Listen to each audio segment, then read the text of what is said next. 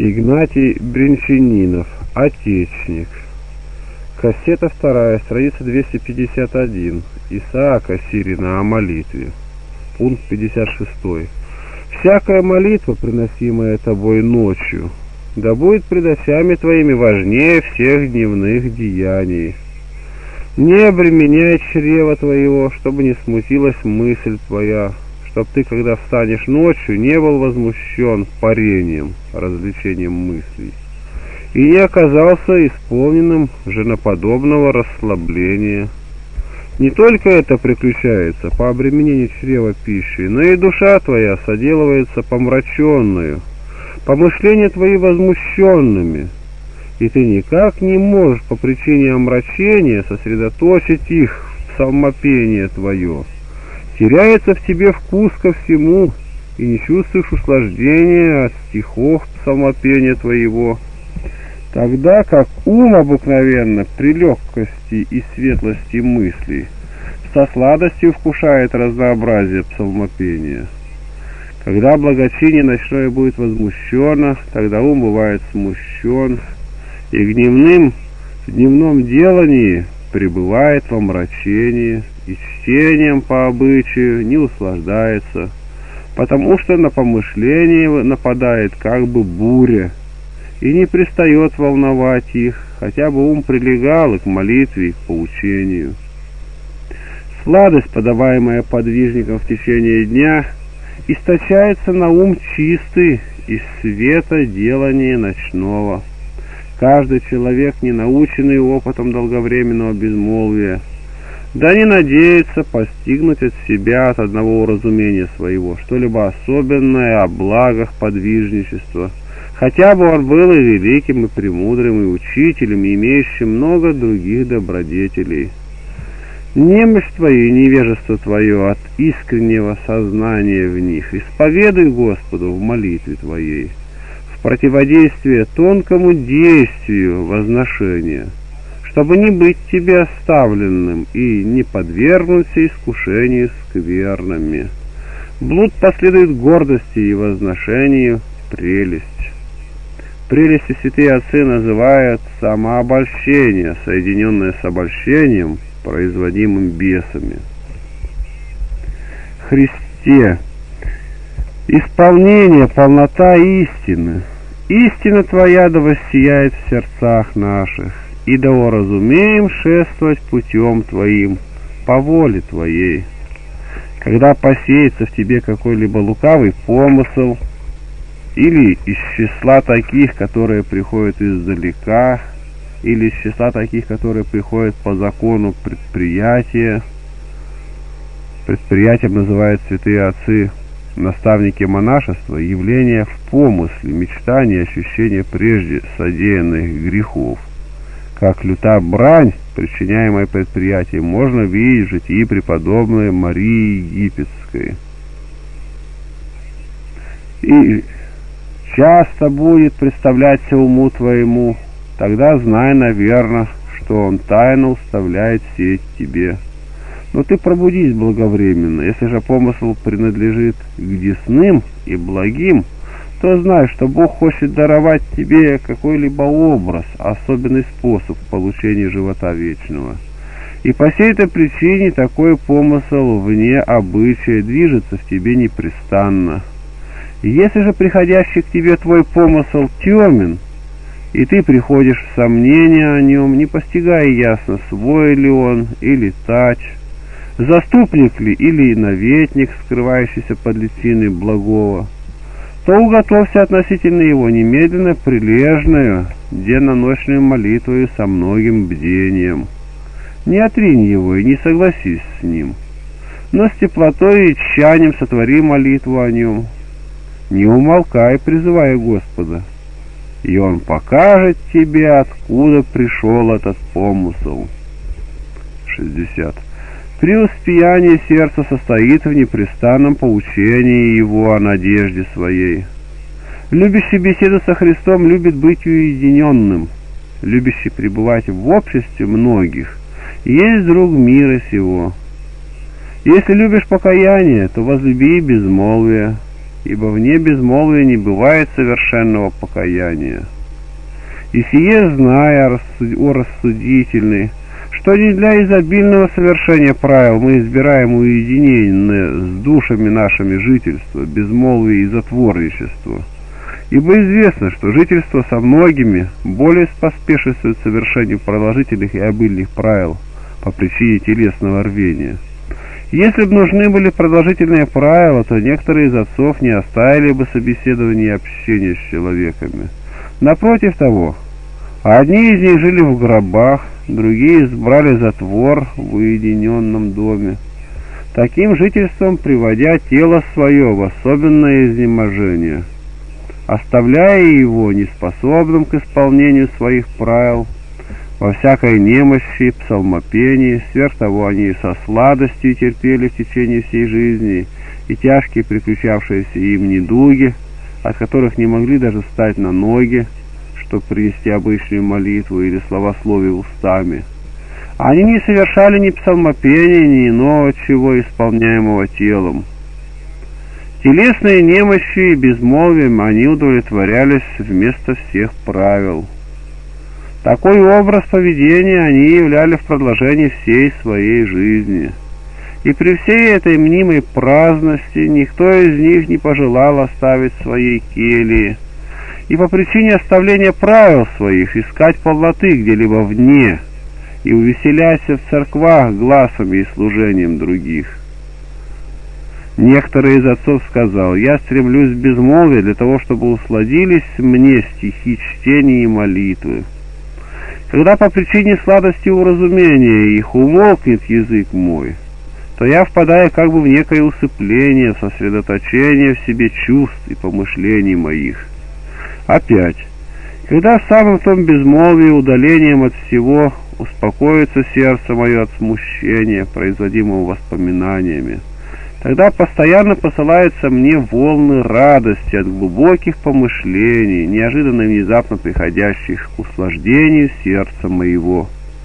Когда эти волны приближаются к кораблю души моей, Тогда погружается она в истинное исступительное видение при своем богоугодном безмолвии, соделываясь чуждой глаголом мира сего и жизни плотской. Другой отец сказал, «В сладостном делании себе избери всегдашнее бдение по ночам, которым все отцы совлекались ветхого человека и сподобились обновления ума, в эти часы душа ощущает бессмертную жизнь, ощущением ее совлекается одеяние тьмы и приемлет Святого Духа. О, какое доставляется наслаждение! Как увеселяется, соделывается радостно и ощущается душа, когда она возбуждается бодрствованием, трезвением своим при чтении и молитве. Святые не иначе дерзали на беседу с Богом и возвышали себя сокровен, к сокровенным таинствам, как при немощи членов тела, при бледности лица, происходящем от труда алджбы, при безмолвии ума и отречении от всех земных помыслов. Тогда осенит тебя сила безмолвия, но по многом времени пребывания твоего в келье, при делании и труде, при внутреннем хранении, при устранении чувств от всяких внешних впечатлений – Тогда прежде всего встретишь радость от времени до времени являющуюся в душе твоей без посторонней причины. И тогда по мере чистоты твоей отверзаются очи твои к видению крепости твари Божьей красоты созданий. Когда ум будет наставлен удивлением, производимым этим видением, тогда единым деланием его и днем и ночью будет созерцание славных чудес в созданиях Божиих. По этой причине сладости этого видения окрадывается у самой души сочувствие к страстям. Любовь есть плод молитвы, любовь наставляет ум к вожделению, видением своим, когда кто претерпит в молитве без уныния и молится только умом разженно и с теплотою молчаливыми помышлениями. Молитва есть умершление мыслей о похотениях плоского жития прилежно молящийся равен умершляющему для мира, умершляющемуся для мира. Ибо отречься от себя значит терпеливо пребывать в молитве. Из всего следует, что любовь Божия обретается в отречении от души своей. Того же святого Исаака Сирского о милости. Хочешь ли духом твоим вступить в общение с Богом, приняв ощущение той сладости, которая не порабощена чувством? Последуй милостыне. Когда она вселится в тебя, тогда образуется в тебе святая красота, которой человеку подобляется Богу. Милость, когда ею растворена вся деятельность, совершает в душе постоянно, всегда одинаковое общение со светлой славой божества, а не по временам. Это духовное соединение есть незапечатленное памятование, возжигаемое в сердце горящей любовью, не имеющее расстояний, приемлющее силу к союзу от пребывания в евангельских заповедях, не через незаконное нарушение законов естества и не по законам естества. Нет иной стези к духовной любви, которую начертывается в нас невидимый образ Божий, если прежде всего человек не начнет миловать по подобию Небесного Отца, явившего нам свое совершенство в милости. Как сказал нам Господь, заповедавший повинующимся Ему полагать милость в основании богоугодного жительства. 70. «Стяжи мир себе, и будут иметь мир с тобою небо и земля». Покрой согрешающего, если это не приносит тебе вреда, этим ты ободришь его к покаянию и исправлению, а тебя будет поддерживать милость владыки твоего. Немоществующих и опечальных сердцем утверди словом и всеми средствами, находящимися в твоей власти.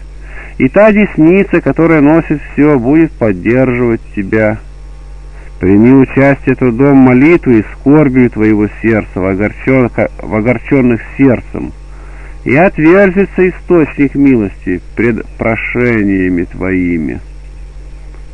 Не променяя любви к брату твоему на любовь к какой-нибудь вещи, потому что любовь к брату ты стяжал внутри тебя, того, кто драгоценнее всего, любовью к брату. Кто драгоценнее всего в мире, оставь малое, чтобы приобрести великое — Пренебреги излишними и ничего не значащим, чтоб приобресть многоценное. Будь умершим в жизни твоей, чтоб тебе не жить для смерти. Душа милостиво сияет паче солнца и непрестанно увеселяется видением божественных откровений. На всех изливай милость твою, и от всех будь далек по телу. Некоторый брат был однажды облечен в том, что он не подал милостыни. Этот брат смело и с решительностью отвечал обличившему, монахи не должны подавать милостыни. Обличивший сказал ему на это, ясно и очевидно, какой монах не подлежит обязанности подавать милостыню. Это тот, кто может открыто сказать Христу слова Писания, «Вот мы оставили все и вслед тебя пошли». Это тот, кто не имеет ничего на земле, не предается попечениям о теле, не занимает ума своего ничем видимым, не заботится стяжать что-либо, но если кто и даст ему что-нибудь, то берет только одно необходимое, не увлекаясь вниманием ни к чему излишнему, кто жительствует подобно птице. На таком не лежит обязанность подавать милостыню, ибо как он будет подавать то, чего нет у него?» Напротив того, заботимся о житейском, занимающемуся рукоделием, принимающим от других, должно подавать милостыню. Нерадение о ней есть не милосердие, противные заповеди Христа. Если кто не приближается к Богу тайным подвигом и не знает служить Ему духом, притом не печется о явных Ему возможных добродетелях, то какая может быть надежда для такого к стяжанию жизни вечной? Таковой неблагоразумен. Брат, заповедую тебе, на весах твоего рассуждения, да припобеждает постоянно милостыня все прочие виды добра, доколе ты не ощутишь в себе той милостыни, которую имеет Бог к миру. Милосердие да будет для нас зеркалом, и да возможем увидеть в себе, при посредстве милосердия, подобие истинный образ совершенства, находящегося в естестве и существе Божием. Этими и таковыми понятиями просветимся и направимся чистым произволением к богоугодному житию. Жестокое и немилостивое сердце никогда не возможет очиститься. Милосердный человек есть врач души своей, он как бы сильным движением ветра изгоняет омрачение страстей из внутренности своей. Милость есть благой долг наш Богу по евангельскому слову жизни. Говорил Ава и Перхий. Трезвенный инок проводит ночь и день, прилежа молитвам, принуждая сердце проливать слезы и призывать милость с неба. Он говорил, «Как лес страшен для диких ослов, так страшен искусный монах для помыслов вожделения». Еще говорил, «Пост есть монашеская узда для греха, тот, кто отвергнет пост, соделывается конем, неистовящимся на блуд» говорил, «Не удерживающий языка во времена гнева не возможет удержать и страсти». Говорил, «Лучше есть мясо и пить вино, нежели злоречием снедать братью». Говорил, «Иссушенное постом тело инока извлекает душу его из пропасти». Говорил, «Целомудренный монах будет почтен на земле, увенчается на небе пред Всевышним». Говорил, Монах, не удерживающий языка, никогда не возможет обуздать сладострастие. Говорил, злых слов да не износят уста твои, лоза не плода приносит терни. Говорил, наговор змея вывел Еву из рая, таково и злоречие о ближнем. Оно губит душу слушающего, губит и душу говорящего говорил, «Мысль твоя да пребывает постоянно в Царстве Небесном, и вскоре наследуешь его». Говорил, «Сокровище монаха послушания, стяжавший послушание будет услышан Богом, и с предстанет распявшемуся за нас, потому что Господь, распявшийся за нас, был послушен даже до смерти». Говорил, «Сокровище монаха произвольная нищета, брат, сокровища твои скрой в небе, там наслаждение и слова бесконечны. Говорил, духовная песня, поучение, да пребывает непрестанно в устах души твоей, да облегчается ими тягость встречающихся напастей. Возьми пример с путешественника, труждающегося в дороге. Если он, идя, поет, то этим скрадывается трудность путешествия. Здесь поучением названа умная молитва — и духовной песнью также умная молитва, осененная и действуемая благодатью Божией. 15. Говорил, нам должно приготовляться к принесению напасти прежде пришествия напасти, чтобы оказаться искусными в то время, когда она придет. Говорил, истинно премудр не тот, кто учит словом, но кто наставляет делом говорил, древо жизни, возрастающее до небес, смиренно мудрее. Говорил, подражая смирению, смирением мытарю, чтобы не быть осужденным, подобно фарисею. Последуй кротости Моисея, чтобы избавиться окаменения сердечного и прийти к источникам вод. Говорил, сколько имеешь силы, потрудись в избавлении ближнего от греха его, не укоряя его за грех. И Бог не отвращается от обращающихся к нему. Злоба и лукавство не вкрадутся в сердце твое, чтобы ты имел возможность говорить. Оставь нам долги наши, якоже и мы оставляем должником нашим. Говорил, жительством монах да уподобляется ангелам, да сожигает он и истребляет в себе грех. Совершается это со всей ощутительностью умной молитвой, пребывание в которой со всей справедливостью может быть названо жительством ангельским. Святые скидские отцы произнесли пророчество о последнем роде. Они предложили вопрос, что сделали мы? Один из них, великий по жительству Ава из Хирион, сказал на это, мы соблюдали заповеди Божии. Отцы спросили, что сделают те, которые непосредственно последуют за нами? Он отвечал, они будут иметь дело не в половину против нашего. Отцы опять спросили, а те, которые будут после них? Эти, отвечал Ава, отнюдь не будут иметь монашеского делания, но их постигнут напасти, и они, подвергшись напастям и искушениям, окажутся больше нас и больше отцов наших. Поведали ученики Авы и Виссариона о жительстве его следующее – оно было подобно образу жизни, которую проводит птица небесная, рыба или какое-либо животное земное. Он провел все время жизни своей вне молу и попечений.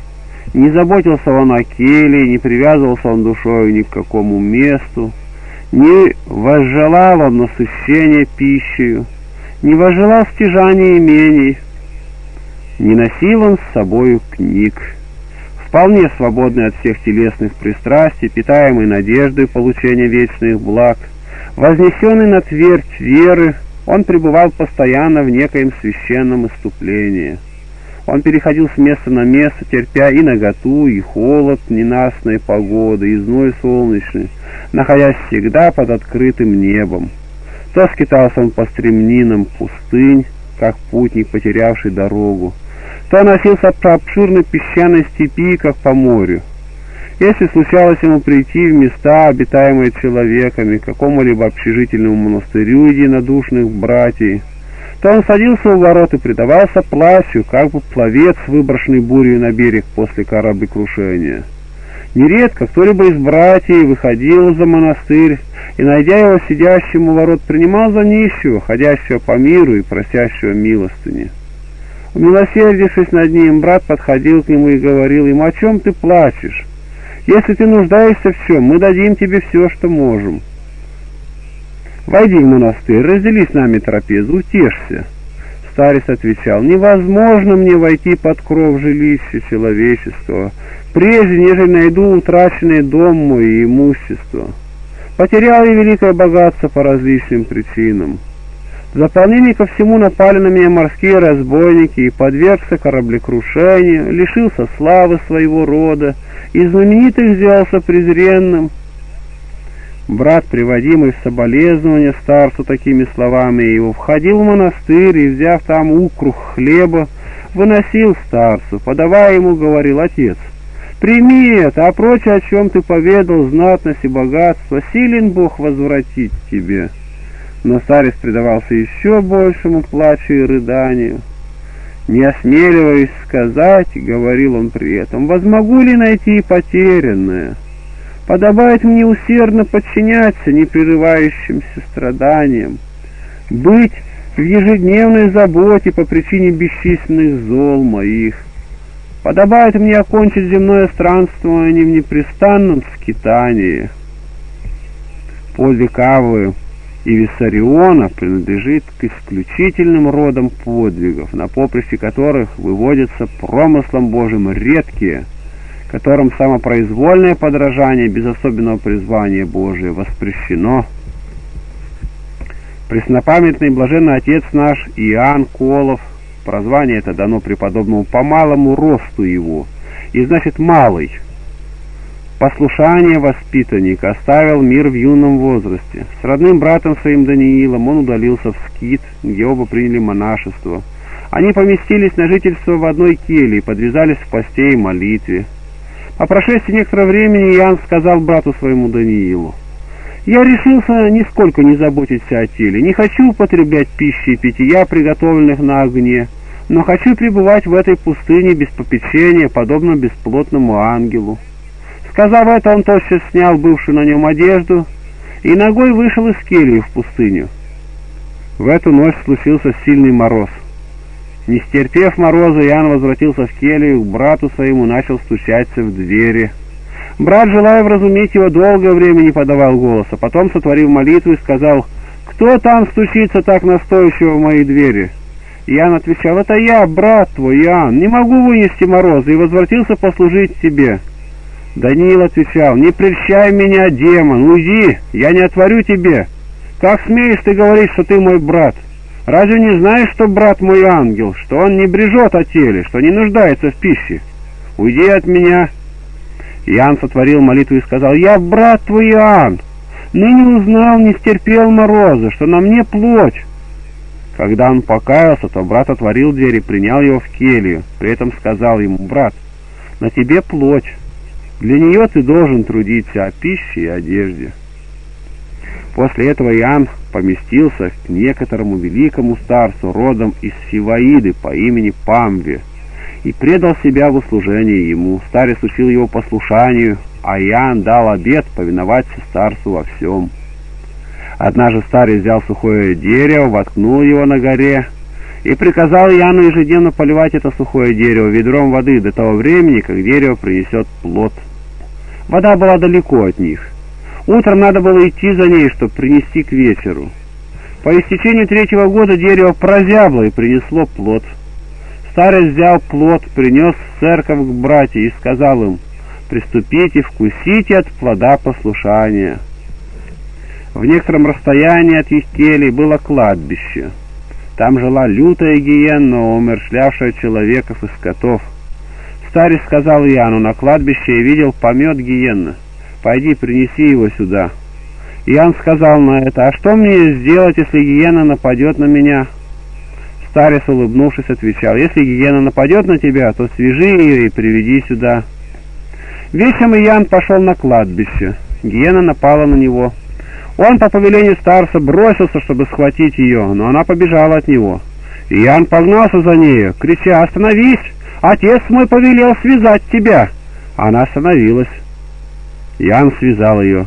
Между тем старец сидел, ждал ученика. И вот идет Иоанн, ведет за собой связанную гиенну. Старец, увидев это, удивился, желая же смирить ученика и предохранить от превозношения, взял жезл и начал бить Иоанна, говоря, «Глупый, собаку ли ты привел сюда?» Старец развязал гиену и отпустил ее. Павла имел и другого ученика, Паисия, впоследствии знаменитого отшельника в пустыне Нитрийской, чествуемого церковью между великими святыми ее. Старец скончался блаженной кончиной. Оставшись после него, Паисий и Иоанн жили некоторое время вместе. В жительстве их начало проявляться разнообразие, почему Иоанн дал совет Паисию прибегнуть к Богу с прошением о даровании им извещения, какой род жизни каждому из них назначить благоугодно Богу. Они совершили все ночное бдение, к утру предстал им ангел и повелел Иоанну пребывать на своем месте жительства и назидать братьев, а Паисию удалиться в пустыню и там проводить жизнь отшельника. Ава Иоанн Колов говорил, «Если царь захочет взять неприятельский город, то прежде всего пресекает подвоз в него съестных припасов. Граждане, будучи утеснены голодом, и чтобы не погибнуть от голода, покоряются». То же бывает с плотскими вожделениями, если человек будет проводить жительство в посте и голоде. Вожделения изнемогают в душе его. Он говорил, врата Божии — смирение. Отцы наши из среды многих уничижений вошли, радуясь, в храм Божий. Он говорил, я подобен человеку, который сидит под высоким деревом и видит, что приближается к нему множество зверей и змей. Если он не может противостать им, то взлезает на дерево и спасается. Так и я, безмолвствуя в келье моей, вижу злые помыслы, восстающие на меня.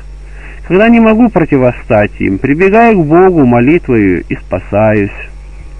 Он говорил, смиренно мудрый страх Божий выше всех добродетелей. Он говорил, оставив легкое бремя, то есть самоукорение, мы возложили на себя тяжелое, самооправдание. Ава Пимен поведал о Авиане Колове следующее. Он умолял Бога, и отъяты были у него страстные вожделения. Он ощутил ненарушимое спокойствие. Тогда он пришел к некоторому отцу и сказал ему, «Вижу себя спокойным, не имеющим никакой брани». Старец отвечал ему, «Иди и умоли Бога, чтобы возвратились в брани, и то сокрушение сердца и смирение, которое ты имел прежде». По причине брани душа приходит в преуспеяние. Иоанн спросил у Бога возвращение брани, и когда пришли брани, то он уже не молился об освобождении от брани, но говорил, «Господи, даруй мне терпение в брани». Ава Иоанн говорил, Безмолвствовать в келье, упражняясь в непрестанной памяти Божией, тоже, что быть заключенным в темнице. К такому жительству может быть отнесено изречение «В темнице был, посетили меня». Поведали об Анне. Когда он возвращался с жатвы, то ходил сперва к старцам для молитвы и назидания, потом упражнялся в псалмопении, после этого переходил уже к молитве. Такую постепенность в занятиях находил он нужной для приведения ума в то состояние, в котором он находился до выхода из келии. Тому, кто имеет умную молитву, должно постепенно возвращаться к ней после того, как случится подвергнуться развлечению. Ава Ян Колов сказал, «Невозможно выстроить здание, начиная строить с крыши, продолжая постройку к низу но должно строить, начиная с основания и поднимаясь кверху. Его спросили, что должно разуметь здесь под основанием? Он отвечал, основание ближний, когда пользуем мы приобретаем его, потому что на нем основаны все заповеди Христовы. Однажды некоторые из братьев пришли испытать Аву Иоанна Колова, зная о нем, что он не попускал себе развлечения и не говорил ни о чем житейском. Они сказали ему, этого лета был обильный дождь, пальмовые деревья напоены и дадут много ветвей. Братья получат в большом количестве вещества для рукоделия. Ава Ян отвечал, подобным образом, когда Святой Дух не зайдет в сердца святых, они обновляются и пускают леторосли в страх Божий. Поведали о нем, что он однажды сшивал две корзины веревкой. Он уже сшил одну корзину, но приметил это только тогда, когда, работая, прикоснулся к стене, потому что ум его был в духовном видении, производимом благодатной умной молитвою. Однажды Аваян сидел у церкви. Братья окружили его и вопрошали о своих помыслах. Увидел это один из старцев, и, побежденный зависти, сказал ему, «Иоанн, чаша твоя преисполнена чарования». Ян отвечал точно так, Аво. И ты сказал это, видя одно внешнее. Что сказал бы ты, если бы увидел внутреннее?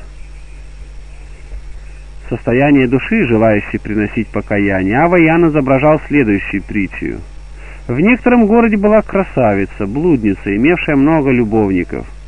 Князь сделал ей предложение «Обещайся жить целомудренно, и я согласен, чтобы ты была моей супругою». Она обещалась. Князь женился на ней и взял ее в свой дом. Узнав об этом, прежние любовники ее совещались между собой так. Такой-то князь женился на ней и взял ее в свой дом. Если мы пойдем прямо в дом, то князь подвергнет нас пытке. Вот что сделаем. Пойдем сзади дома и свистнем ей. Она узнает наш свист и выйдет к нам. Тогда уже мы не будем виноваты.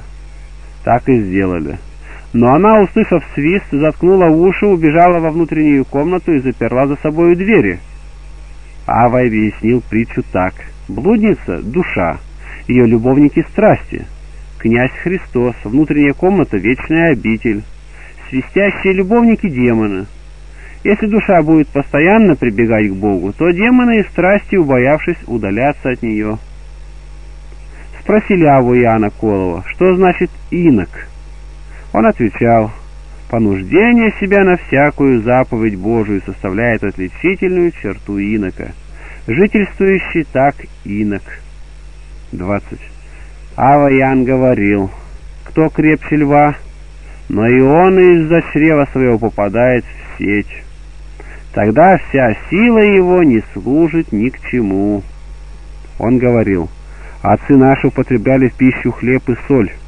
Они говорили, не попустим себе насыщения хлебом и солью. По этой причине они были сильны на дело Божие. Он говорил ученику своему, «Почтим единого, и все будут почитать нас». Если же мы презрим этого единого, то есть Бога, то нас презрят все, и мы погибнем. Он сказал, дьявол начал уязвлять Еву, во-первых, с имения его, когда увидел, что Иова не предался печали и не отучился от Бога, то вторую язву нанес уже на тело. Но доблестный страстотерпец не согрешил даже словом уст своих. Он имел божественное сокровище внутри себя, и по причине его непристающее радование.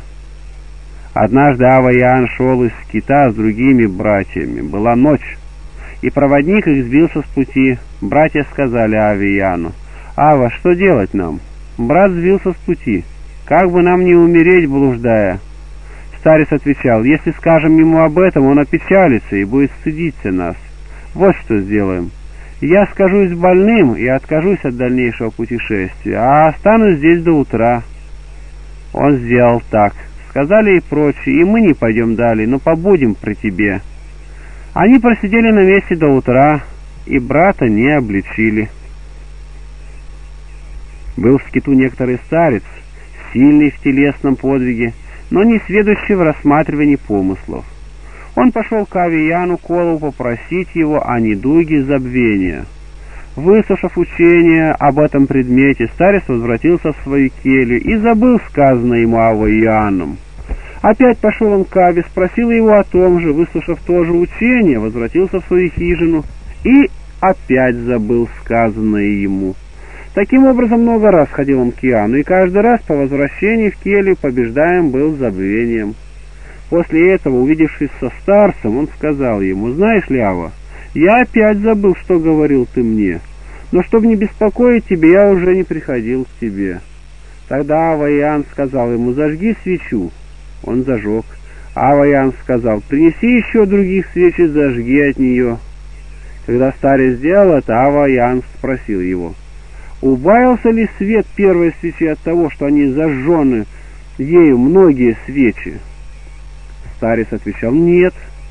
Иоанн сказал на это, подобен первой свече Иоанн. Если и весь скит обратится ко мне, то не умалят благодати Христовой. Приходи ко мне, когда хочешь, без всякого сомнения. За терпение обоих Бог отъял забвение от старца, от ума старцева, от сердца. Таков был образ действования скифских отцов. Они споспешествовали преуспеянию тех, которые стремились к нему и понуждали себя к добродетели. Брат спросил Аву Иоанна, что мне делать?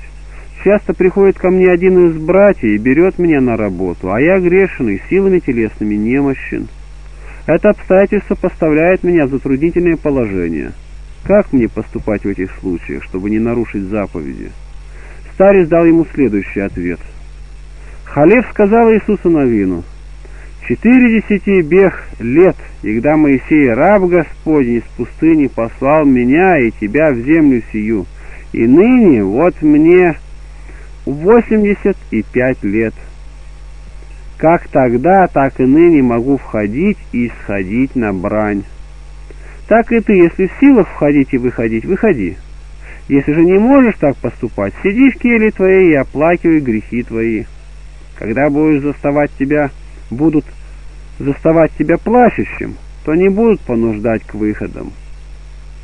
Некоторый старец пришел в келью Ава и Иоанна и застал его спящим. Ангел стоял близ его и веял над ним. Старец увидел это и ушел. Когда Ава встал, то спросил ученика своего, не приходил ли сюда кто в то время, как я спал? Ученик отвечал, приходил такой-то старец. И уразумел Ава Иоанн, что этот старец равен ему по духовному преуспеянию, и что он видел ангела.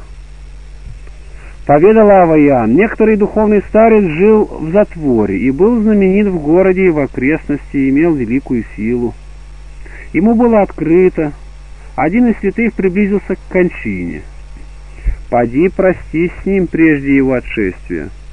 Старец сказал сам себе, «Если я пойду днем, то стечется ко мне народ и окажет мне великую почесть. Лучше пойду вечером. Тьма скроет меня от всех». При наступлении вечера с намерением утаиться он вышел из келии, и вот явились два ангела с пылающими светильниками, посланные от Бога, чтобы освещать путь старцу. Сбежался весь город на это зрелище. Сколько думал старец избежать славы, столько был прославлен. Исполнились над ним слова Писания.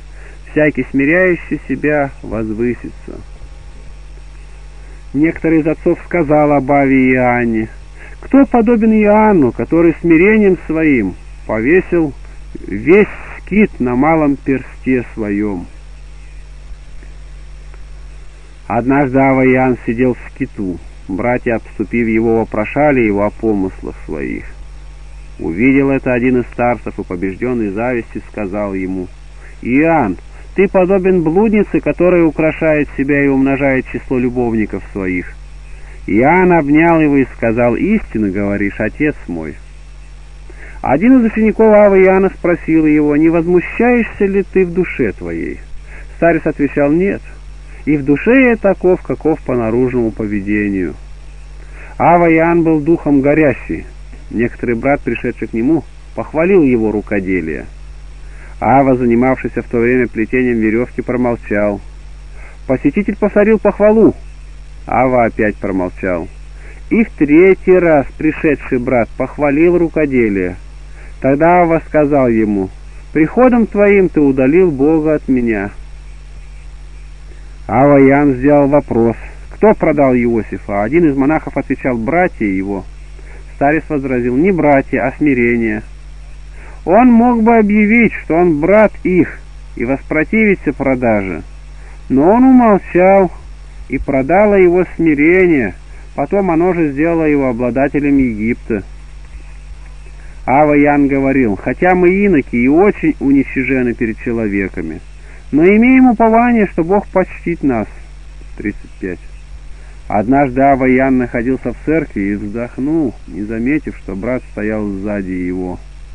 Увидев его, Иоанн поклонился ему, сказав, «Прости меня, Ава, я еще не обучен монашеским правилам».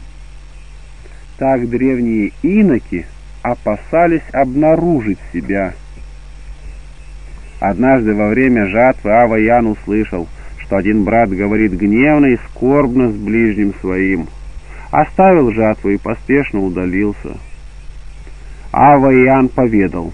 Однажды я шел по скитской дороге со своим рукоделием. Встретившись с хозяином верблюдов и вступив в разговор с ним, я заметил, что словами его могу быть приведен в гнев. И немедленно бежал, оставив тут и корзины мои, Сказали о Аве Иоанне, что он, пришедший в церковь Кита и услышав там, что некоторые из братьев спорили между собою, возвратился в келье своей, обошел ее три раза и после этого взошел уже в нее. Видели это некоторые из братьев и спросили его, почему он поступил так. Он отвечал, мой слух был запечатлен словами спора. Я прохаживался, чтобы очиститься, и уже в безмолвии сердца зайти в келью. Аваян сказал, «Если человек имеет в душе своей залог божественный, то может безмолвствовать в келье своей. Также может пребывать безвыходно в келье и тот, кто, не имея божественного залога, имеет залог мира сего. Не может пребывать в келье, не имеющий ни Божия залога, ни залога мира сего». Это значит, упражняющийся в умной молитве и плаче удовлетворяется и дорожит безмолвием кельи. Можно дорожить пребыванием в келье по причине какого-либо пристрастия, например, по причине пристрастия к рукоделию с сребролюбивой целью. Без этих залогов пребывание в келье невыносимо. Однажды брат пришел в келью Авы Яна Колова для духовной беседы. Когда настал вечер, брат хотел возвратиться. Но душеполезная беседа продолжалась, и незаметно для них наступило утро. Ава встал, чтобы проводить брата, но беседа продлилась до шестого часа. Ава ввел опять брата в келью, они разделили трапезу, после нее брат ушел. Сказывали о Аве и Иоанне, что плату, получаемую им за жатву, он приносил в скит, говоря, «Мои вдовицы и сироты все в скиту». Ава Ян Колов был в великом преуспеянии умной молитвы и переходил от нее в состояние духовного видения. Однажды брат пришел к нему взять корзины. Он вышел к нему и сказал, «Брат, чего ты хочешь?» Брат отвечал, «Мне нужны корзины, Авва». Старец вошел в келью, чтобы вынести корзины, и, забыв о них, сидел. Брат опять постучался, и когда старец вышел, то напомнил ему о корзинах. Старец зашел в келью и опять сидел, забыв о корзинах. Брат постучался в третий раз. Старец вышел к нему и говорит, чего хочешь ты, брат? Брат отвечал, корзин, Авва. Старец взял его за руку, ввел в келью, сказал, если тебе нужны корзины, возьми и иди, мне не досуг. Однажды хозяин верблюдов пришел к Аве Иоанну, чтобы взять его корзины и увести их, куда следовало по назначению. Ава взошел в келью, чтобы вынести ему корзины, и, взяв одну корзину, забылся, потому что ум его был восхищен к Богу. Хозяин верблюдов опять обеспокоил его, постучавшись в двери. Ава вышел к нему, но, возвратясь в келью, опять забылся. Хозяин верблюдов постучался в третий раз. Ава вышел к нему и, возвращаясь в келью, твердил «Корзины, верблюд, корзины, верблюд». Твердил он это, чтоб снова не забыться.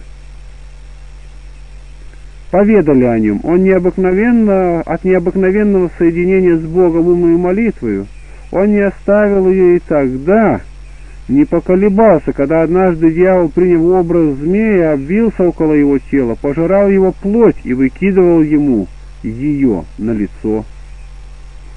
Однажды в скиту несколько старцев вкушали вместе пищу.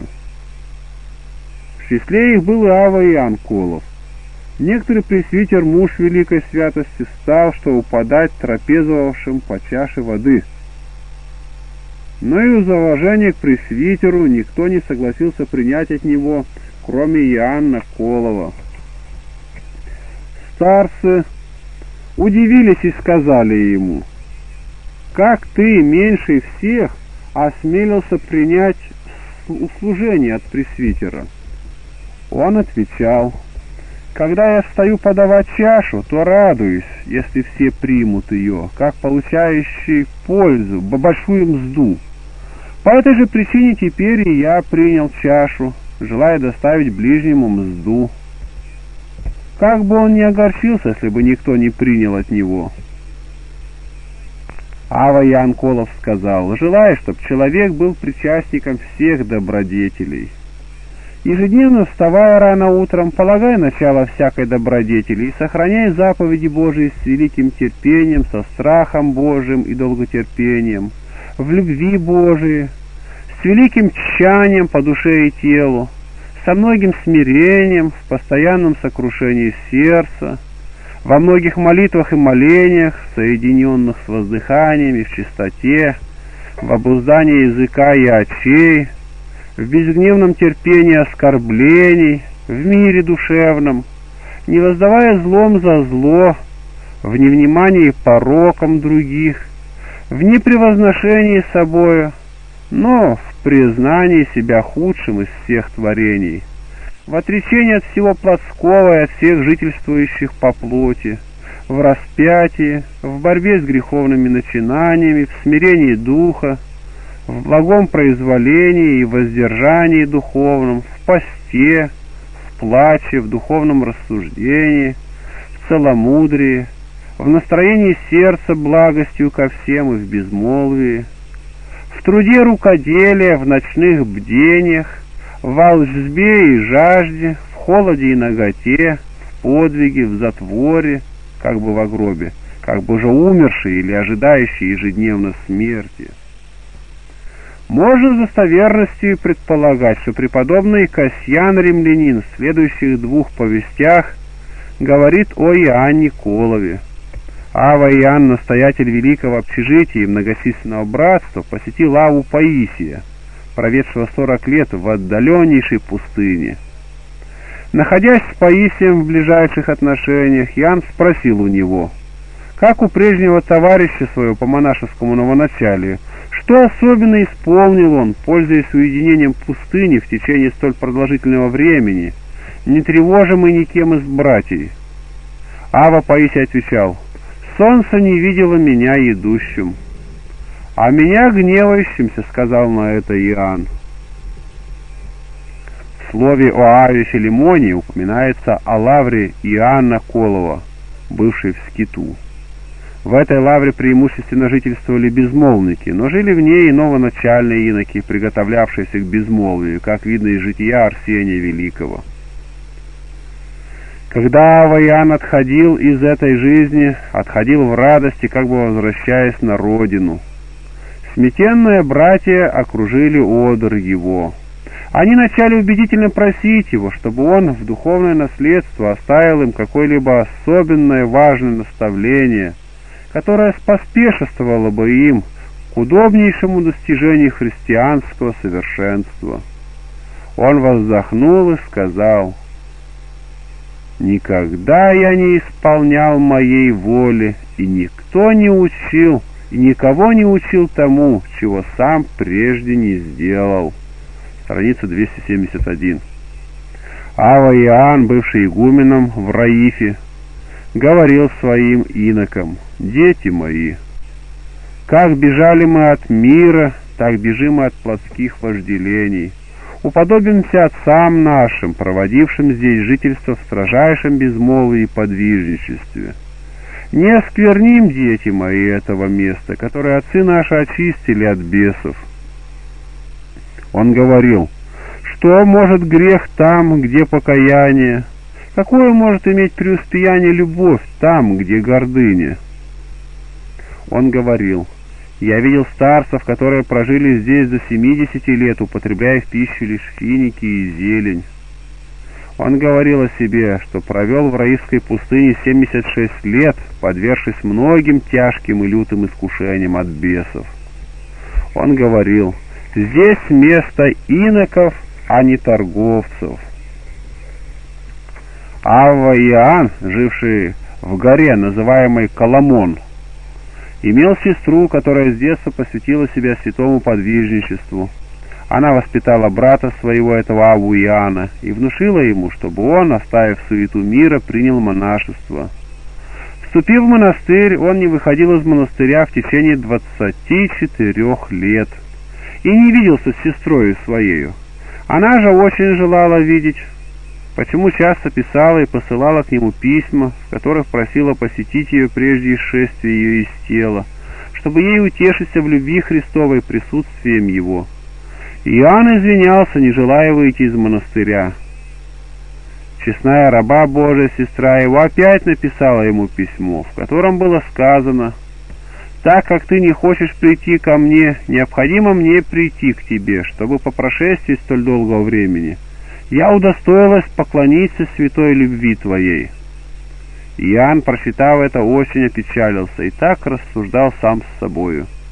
«Если я позволю сестре моей прийти ко мне, это даст повод и прочим родственникам и знакомым моим навещать меня».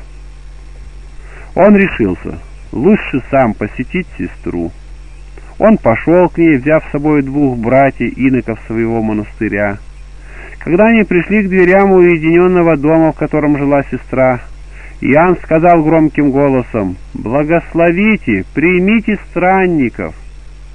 На голос вышла сестра его с другой рабою Божией, отворила дверь и не узнала брата своего. Он узнал ее, но не сказал ни слова, чтобы она не узнала его по голосу. Монахи, бывшие с ним, сказали ей, «Просим тебя, госпожа и мать, повели нам дать воды для утоления жажды, потому что мы устали от пути». Им подана была вода, и они пили.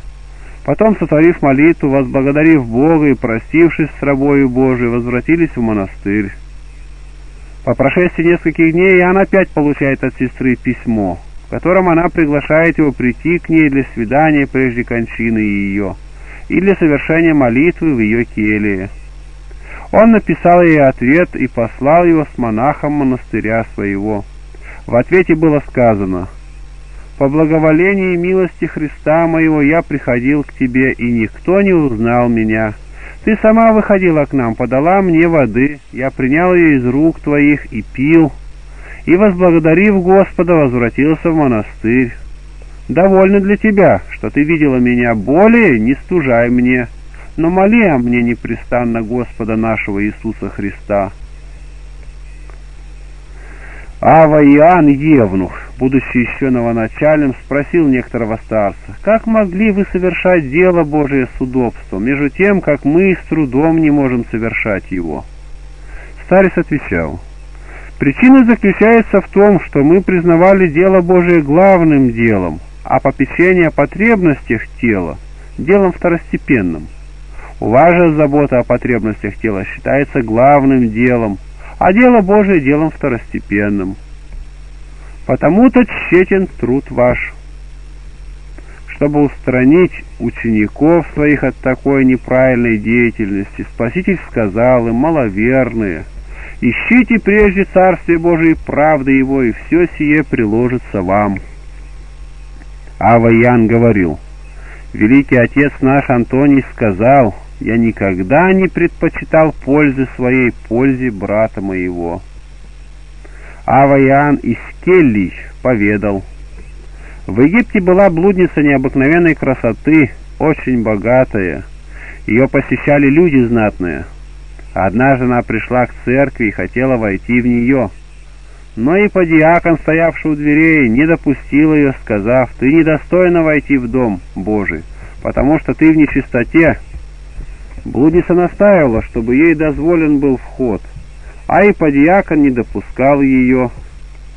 Они начали спорить. Епископ, услышав шум, вышел к дверям. Блудница сказала ему, «И подьякон не пускает меня в церковь». Епископ отвечал ей, «Невозможно войти тебе, потому что ты в нечистоте». Пораженная этим, блудница воскликнула, «Отселе я уже не буду блудодействовать». Епископ сказал на это, «Если ты принесешь сюда имение твое, то поверю, что перестанешь от греха». Блудница принесла перед епископом имущество свое, он бросил его в огонь. После этого блудница, обливаясь слезами, вошла в церковь и сказала, «Если здесь так поступлено со мною, то что было бы там?» Она принесла покаяние и соделалась сосудом избранным. Некто из старцев поведал об Аве Иоанне, персианине, что он по изобилию в нем божественной благодати достиг совершенного незлобия. Жил он в Аравии египетской. Однажды он занял у брата золотую монету и купил на нее льну для своего рукоделия. После этого пришел к нему другой брат и начал просить его, говоря, «Дай мне, Ава, немного льну, я сделаю себе левитон». Ава радостно дал ему. Потом пришел к нему еще другой брат и также просил его, «Дай мне немного льну на полотенце». Старец дал и этому и иным многим просившим у него давал с радостью, потому что был крайне прост сердцем. Пришел, наконец, к нему и судивший его золотую монету, и желая получить ее обратно. Старец сказал ему, «Я схожу и принесу ее тебе». Не нашедший у кого бы занять монету, он пошел к Аве Якову, заведовавшему раздаянием милостыни, с тем, чтобы попросить у него златник для возвращения брату. Идя к Авиякову, он увидел на дороге лежащий златник. Аваян не прикоснулся к нему, но сотворил молитву и возвратился в келью. Брат опять пришел, прося возвращения долга. «Я забочусь об этом», — отвечал старец, и опять пошел к Аве Якову. На дороге он увидел златник на том же месте, на котором он был прежде. Сотворив молитву, старец возвратился в келью. Брат пришел и в третий раз, прося златника обратно. Старец отвечал ему, «Непременно схожу и принесу тебе». Он пошел на то место, где прежде нашел монету. Она лежала там же. Сотворив молитву, он взял ее, принес к Аве Якову и сказал ему, «Ава, идя к тебе, я нашел на дороге этот златник, окажи любовь. Повести в окрестности, не потерял ли кто его? Если найдется потерявший, отдай ему». Ава Яков ходил три дня и объявлял о найденном златнике. Но не нашлось никого, кто бы потерял златник. Тогда старец сказал Аве Якову, «Если никто не потерял этого златника, то отдай его такому-то брату, я должен ему. Я шел к тебе просить милостыни, чтобы отдать долг, и нашел этот златник». Удивился Ава Яков, что старец, будучи должен, но нашедший монету, не взял ее тотчас и не отдал долга было достойно удивления в Аве и Анне. И следующее. Если кто приходил к нему взять что-либо взаймы, то он не давал из своих рук просившему, а говорил ему, «Пойди, возьми, что нужно тебе». Когда взявший приносил взятое, то старец говорил, «Положи на свое место, откуда ты взял». Если же кто не возвращал долго, то старец и не напоминал о нем. Поведали о Авиане персянине, когда пришли к нему злодеи. Он принес ему вальницы и умолял их о дозволении умыть им ноги. Злодеи устыдились, начали просить у него прощения и раскаиваться в своей злонамеренности. Ава Иосиф безмолвствовал в пустыне Нижнего Египта, прилежащей городу Панифосу. Он был из первых граждан города Тмуя, имел ученость мира сего и знал хорошо греческий язык. Ава Пимен спросил Аву Иосифа, «Научи меня, как мне сделаться монахом?» Старец отвечал, «Если хочешь обрести покой в этом и в будущем веке, то при всяком случае говори себе, «Я кто?» И не осуждай никого. Брат вопросил Аву Иосифа, говоря, что мне делать? Я не могу ни поститься, ни работать, ни подавать милостыни. Старец отвечал ему, если не можешь совершать ни одной из упомянутых тобой добродетелей, то, по крайней мере, храни совесть и свою, и ближнего твоего от всякого зла, и спасешься. Бог ищет от души безгрешие. Поведал некоторый брат, Пришел я однажды в Нижний Гераклию, к Аве Иосифу. В монастыре его было великолепное дерево, смоковница. При наступлении утра он сказал мне, «Пойди, покушай плодов смоковницы». Была тогда пятница. Я не исполнил сказанного старцем, чтобы не нарушить церковного постановления о посте. После этого умолял я его, говоря, «Бога ради, объясни мне твой поступок». Ты повелел мне с утра употребить пищу, а я по причине поста не сделал этого, и стыдно мне тебя. Недоумевая, в каком разуме дал ты мне, старец, приказание употребить пищи, и что хотел выразить этим? Ава отвечал, отцы сначала говорят братьям слово наиболее в виде испытания, а не прямо. Когда же увидят, что они исполняют извращенные приказания, то уже не испытывают их неправильными приказаниями, но наставляют истине, убедившись в их послушании. Такой образ действия не должен быть допущен в наше время по скудости преуспеяния в наставниках и по скудости благого произволения во вступающих в монастырь. Почтим благоговейным созерцанием свободу в действовании древних иноков, родившуюся от великого преуспеяния, Почтим ее благоговейным уклонением от подражания ей в сознании нашего недостаточества. Авва Лот посетил Аву Иосифа, сказал ему, «Отец мой, по силе моей я исполняю малое молитвенное правило, соблюдая умеренный пост, занимаясь молитвой, поучением и безмолвием, стараясь наблюдать чистоту, не принимая греховных помыслов. Что надлежит мне еще сделать?» Старец встал и простер руки к небу. Персты его соделались подобными десяти вожженным светильникам. Он сказал Авилоту, «Если хочешь, будь весь как огонь. Не возможешь соделаться монахом, если не будешь пламенеть весь как огонь». Благодатное осенение умной молитвы, при котором инок начинает ощущать в себе веяние необыкновенной тишины – стяжевает опытное познание сердечного безмолвия, с особенным удобством отталкивает приближающиеся к нему греховные помыслы и ощущения. Есть первая степень преуспеяния в умной молитве. На ней не должно останавливаться подвижнику. Должно при помощи плача устремиться к большему преуспеянию, которому нет предела. Умная молитва – жилище небесного царя. В этом дворце чертогам нет числа. За великолепными и обширными чертогами следуют другие, более великолепные и обширные чертоги. Брат спросил Аву Иосифа, «Если настанет гонение, куда лучше бежать, в мир или в пустыню?» Старец отвечал, «Пойди туда, где живут православные, и поместись близ них». Брат хотел выйти из общежительного монастыря и избрать жительство отшельника. Он открыл намерение свое Аве Иосифу и просил у него совета. Старец сказал ему, Живи там, где видишь, что нет ничего вредного для души твоей, и где ты можешь пребывать в мире. Брат отвечал, я мирствую и в общежитии, и в отшельничестве.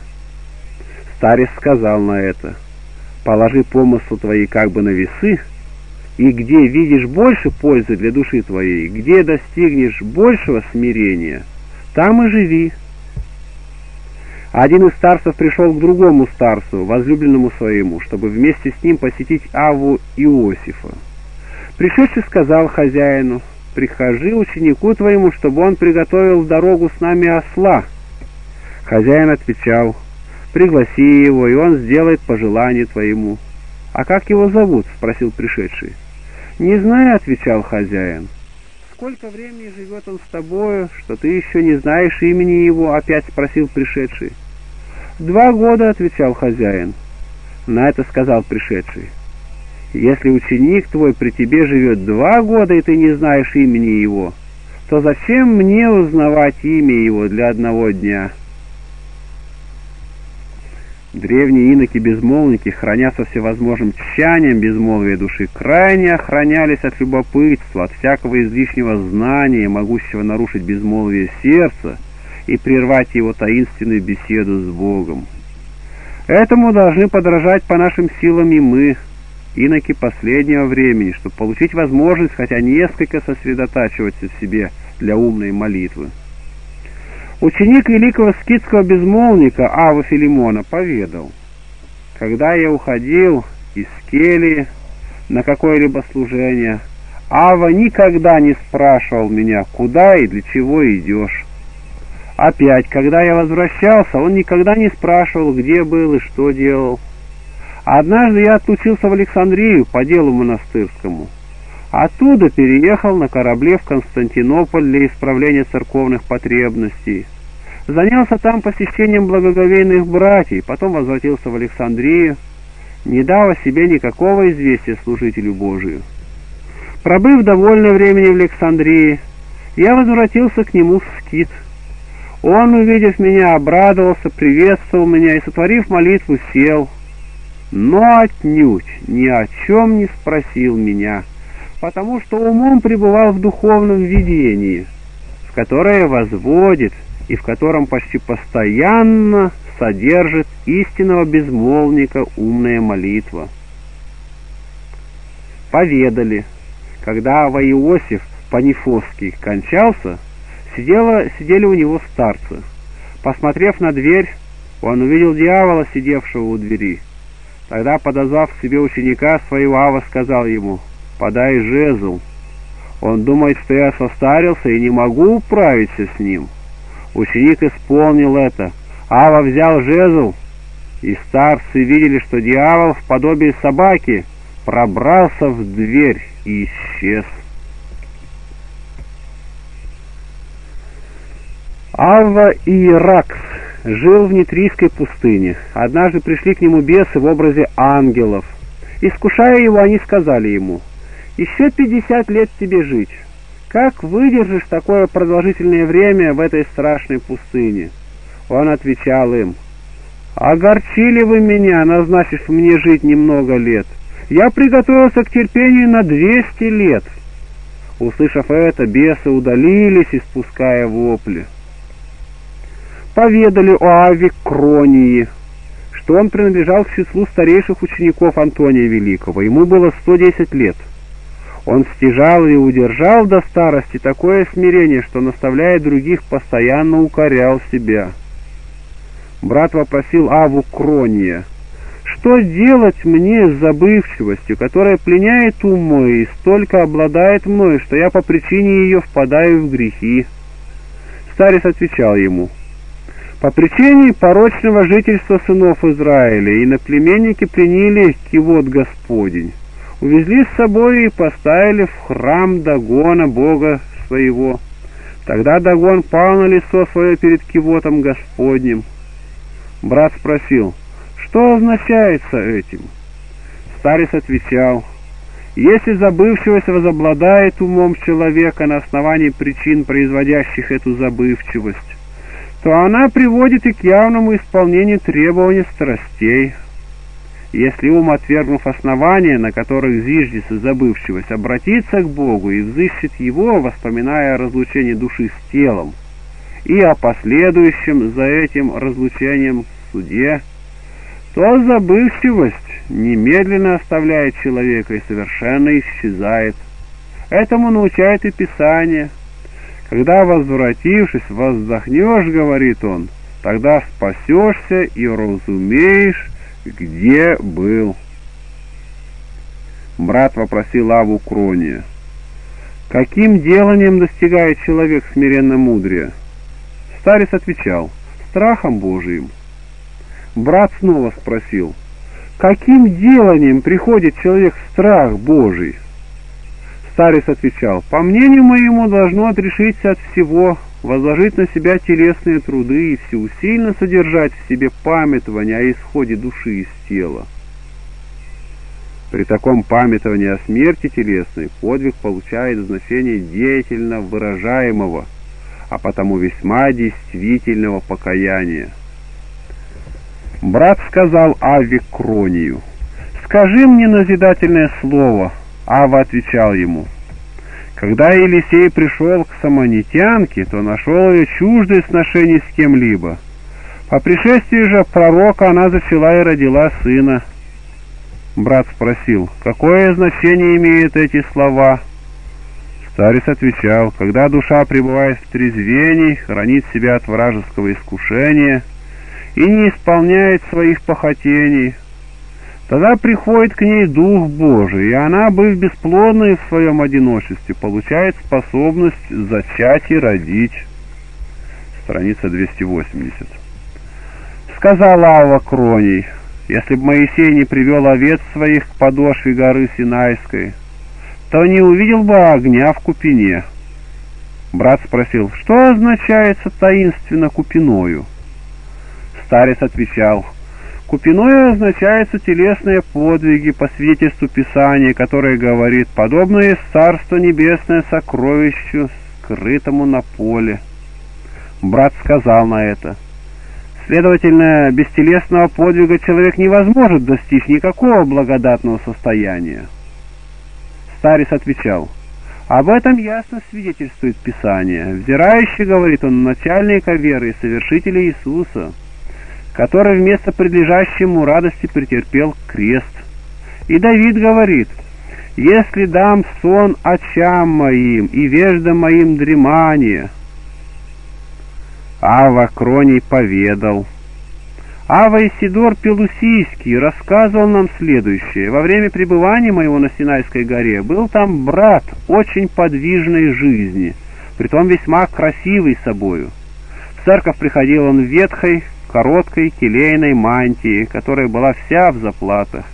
Видя его в таком одеянии посреди множества братьев, однажды я сказал ему, «Брат, ты видишь, что все братья присутствуют в церкви в приличном одеянии, подобно ангелам.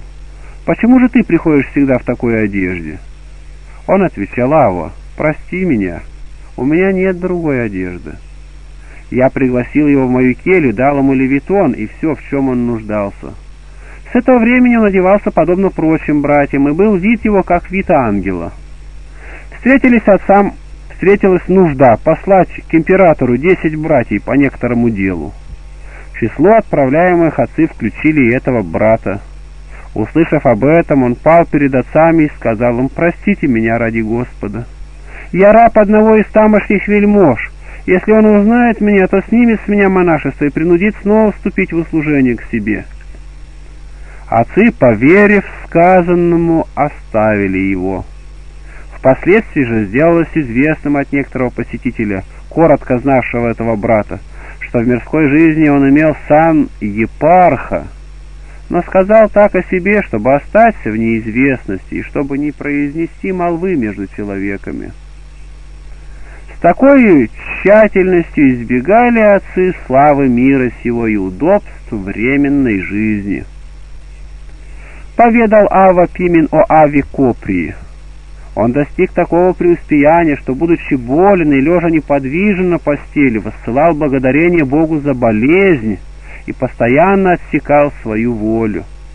Приходившим к нему братьям он советовал переносить скорби с благодарением Бога и говорил, «Блажен, кто переносит скорби с благодарением».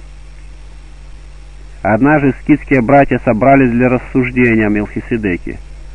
Пригласить же Аву Коприя в собрание свое позабыли. Спустя несколько времени позвали его и предложили ему вопрос о Мелхиседеке. Копри трижды положил руку на уста, говоря при каждом разе «Горе тебе, Копри! Горе тебе, Копри! Горе тебе, Копри! Ты оставил делание, заповеданное тебе Богом, и исследуешь то, чего Он не требует от тебя». Братья, услышав это, разошлись по кельям. Ава Кир дал совет брату, боримому блудными помыслами и мечтаниями, убегать общества женщин и прилежнее заниматься молитвою. Учащенная внимательная молитва при удалении от знакомства и свиданий с женщинами есть средство сильное и действительное против блудной брани. Брат спросил Аву Ксоя, если я выпью три чаши вина, немного ли это? Ава отвечал, если нет дьявола, то немного. Если же он тут, то много. Вино — враг монахам, живущим по Богу. Виноградное вино в жарких климатах имеет совсем иное значение, нежели в климате умеренном. В жарком климате употребление вина часто бывает необходимостью. Дьявол понуждает употреблять вино для наслаждения и по прихоти. По этому признаку познается его присутствие и действие. От такого потребления вина простекает многообразный вред, особенно возбуждаются страсти, блудные и гневные. Монаху дозволяется употребление вина только в случаях нужды. При представившейся нужде должно обдумать, точно ли это нужда, не прикрывается ли личиной нужды пожелания, по требованию истинной нужды монаху разрешается употребление вина умеренной, чтобы вино подействовало только на желудок, а никак не на голову. Некоторый из отцов поведал о Аве к Сое Фивейском следующее. Ходил он однажды на Синайскую гору. Возвращаясь оттуда, он встретился с братом, который, воздыхая, сказал ему Ава, «Страждем от бездождия». Старец отвечал, «Почему вы не молитесь и не просите Бога?» Брат сказал, «И молимся, и просим, но дождя нет». «Видно, вы молитесь неусердно», — отвечал на это старец. «Хочешь ли увериться, что это так?» С этими словами он простер руки к небу, начал молиться, и дождь пошел немедленно. Брат, увидев это, пришел величайшее удивление, пал на лицо свое пред старцем, и старец очень поспешно удалился. О случившемся брат рассказал всем, все слышавшие прославили Бога. Сказал Ава Лонгин, как мертвец не ест, так и смиренно не может осудить человека, хотя бы даже видел его поклоняющимся кумиром. Он сказал, молчание приводит к плачу, а плач очищает ум и соделывает его безгрешным. Ава Лонгин имел обильное умиление при совершаемых им молитве и псалмопении. Ученик его однажды сказал ему, «Таково ли духовное правило, чтобы инок всегда плакал при совершаемых им молитвах?» Старец отвечал ему, «Истинно так, сын мой, таково правило, требуемое Богом.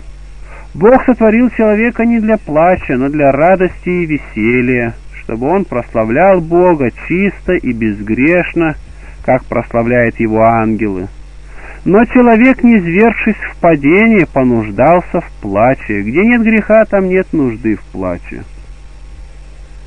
Вопросил Авва Лонгин в новоначале своем Аву Лукия о трех помыслах, сказав, во-первых, «хочу быть странником». Старец отвечал, «Если не удержишь языка твоего, то невозможно быть странником, куда бы ты ни пошел».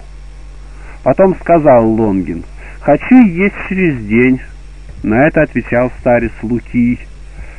Сказал пророк Исаия, «Если свяжешь серп выю твою, ниже так она речеши, пост приятен». 58.5 Все внимание обрати на то, чтобы воздерживаться от порочных мыслей. В-третьих, сказал Лонгин, хочу удалиться от человеков. Старец отвечал, если прежде не приведешь себя в правильное настроение, пребывая между человеками, то не возможешь стяжать его, живя наедине. Ава Макарий Великий говаривал с китской братьей, когда распускал собрание их. «Убегайте, братья!» Один из старцев сказал ему, «Отец, куда бежать нам далее этой пустыни?» Тогда Макарий положил перст на Устасу и сказал, «Этого убегайте». Сказав, он пошел в келью и, затворив двери, пребывал один. Он сказал, «Совершенство доставляется тем, когда не осуждаем никого, и ни в чем малейшем, а осуждаем только себя, и когда претерпеваем досаждения, оскорбления. Он сказал, если хочешь спастись, то будь мертв, не принимая ни бесчестия человеческого, ни чести, то есть не сочувствуя им и не трогаясь ими, подобно мертвым, и возможешь спастись. Говорили о Аве Макарии, что он был как Бог земной, потому что как Бог покрывает мир, так он покрывал недостатки братьев, видя как бы не видя, и слыша как бы не слыша. Говорил Ава Макарий, истинный монах тот, кто во всем побеждает себя. Если, исправляя ближнего, движешься на гнев, то исполняешь свою страсть. Для спасения ближнего не должно губить себя. Отцы Нитрийской горы послали к великому отцу Макарию Скит. Пустыня Скит была по соседству с пустынной горой Нитрийской. Следующим приглашением. Вместо того, чтобы подниматься к тебе, всему иноческому населению горы, умоляем тебя прийти к нам, чтобы мы увидели тебя прежде, нежели ты отойдешь ко Господу. Когда Макарий пришел в гору, стеклось к нему все многочисленное братство. Старцы просили его, чтобы он сказал назидательное слово «братья». Он, прослезившись, сказал им «братья». «Очи ваши да испустят слезы прежде отшествия вашего туда, где слезы наши будут сжечь наши тела». Все заплакали, и пав ниц сказали «Отец, молись за нас». Ава Макарий Великий обрел в глубокой пустыне двух отшельников, достигших христианского совершенства и превосшедших естество, так что они даже не нуждались в одежде. Он спросил у них, как возмогу быть истинным монахом? Они отвечали, если человек не отречется от всего принадлежащего миру, то он не может быть монахом. Святой Макарий сказал им, «Я немощен и не могу проводить такого жительства, какое проводите вы». На это они отвечали, «Если ты немощен, то безмолвствуй в келье твоей, оплакивай грехи твои». Однажды, когда святой Макарий сидел в келье своей, предстал ему ангел, посланный от Бога, и сказал Макарий, «Не бойся нападения невидимых врагов, потому что наш благий владыка не отступит от тебя и не пристанет поддерживать тебя. Мужайся, укрепляйся, храбро побеждай начало и власти противные. Но деланием твоим не превозносись, чтобы божественная помощь не оставила тебя, чтобы ты не пал падением дивным». Блаженный Макарий отвечал, обливаясь слезами, «Чем превозноситься мне, когда душа моя, подобно развратной блуднице, питается смрадом нечистых помышлений, приносимых бесами?» В такое глубокое смирение приведен был преподобный глубоким самовоззрением, которое доставлено было ему его умным деланием. В себе он увидел падение человека и его общение с демонами. Это духовное видение его изображено с необыкновенной ясностью, верностью и подробностью в его беседах. Страница 285. Божественный Макари от трудов постничества, от многих различных браней, имел измененным самое тело, которое походило на тень. Однажды Ава Макарий, ходя по пустыне, нашел лежавший на земле человеческий череп. Когда Ава прикоснулся пальмовой палкой, которая была у него в руке, к черепу, Череп издал из себя голос. Старец сказал ему, кто ты? Череп отвечал, я был жрецом идолопоклонников, которые жили в этом месте. А ты, Ава Макарий, имеющий в себе Святого Духа Божия, когда умилосердясь над теми, которые находятся в вечной муке, ты молишься о них, то они получают некоторое утешение. Старец спросил, в чем состоит это утешение? Череп отвечал, сколько отстоит небо от земли, настолько огня под ногами нашими и над нашими головами. Мы стоим посреди огня, и никто из нас не поставлен так, чтобы видел лицо ближнего своего. Тогда старец, обливаясь слезами, сказал, «Горе тому дню, в который родился человек, если только таково утешение в муке». К этому старец присовокупил, «Если мука более тяжкая этой?» Череп отвечал, «Ниже нас мука больше». Старец сказал, кто в ней? Череп.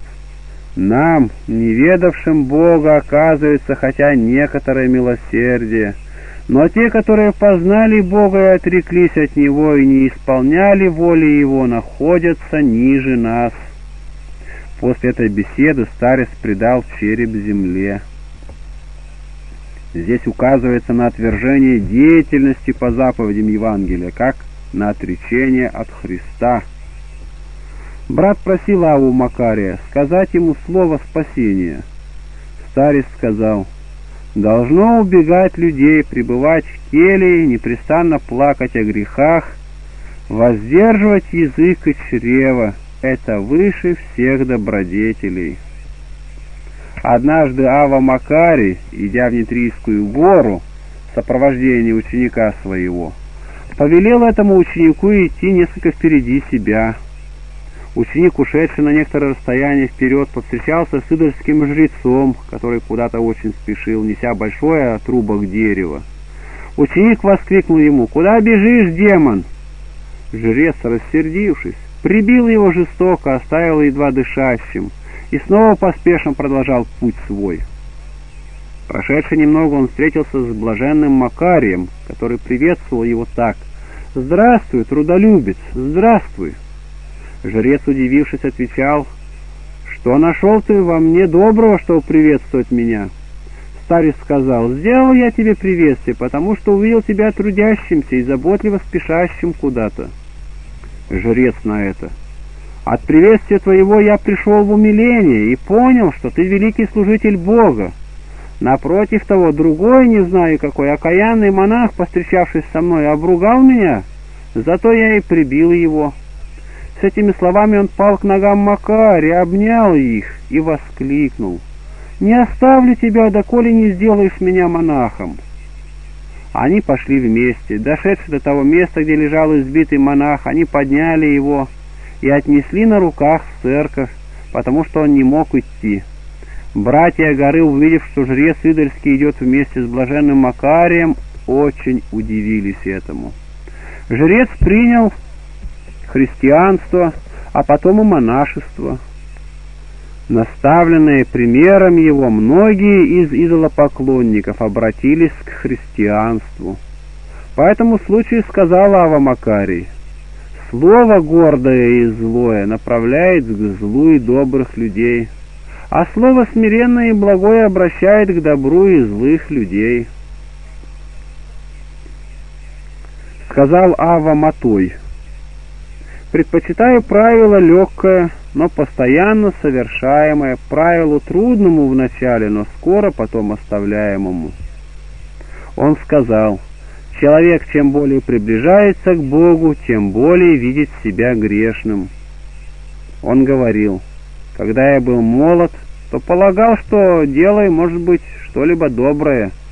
Теперь, состарившись, вижу, что не имею ни одного доброго дела.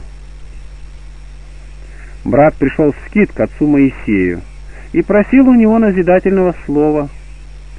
Старец сказал ему, «Поди, пребывай в твоей келии, и келия научит тебя всему». Он сказал, те из нас, которые были побеждены плотской страстью, не обленимся приносить покаяние и оплакивать себя, прежде нежели постигнет плач, имеющий объять нас по причине осуждения нашего. Когда же плачем, не будем возвышать глаз воздыхания, да не уведает левое, что творит правое. Левое есть тщеславие. Брат спросил Аву Моисея, что должен делать человек при всякой случающейся с ним напасти или при нашествии всякого вражеского помышления? Старец отвечал, должен плакать пред благостью Божию, чтобы она помогла ему и вскоре ощутить спокойствие, если будет молиться разумно.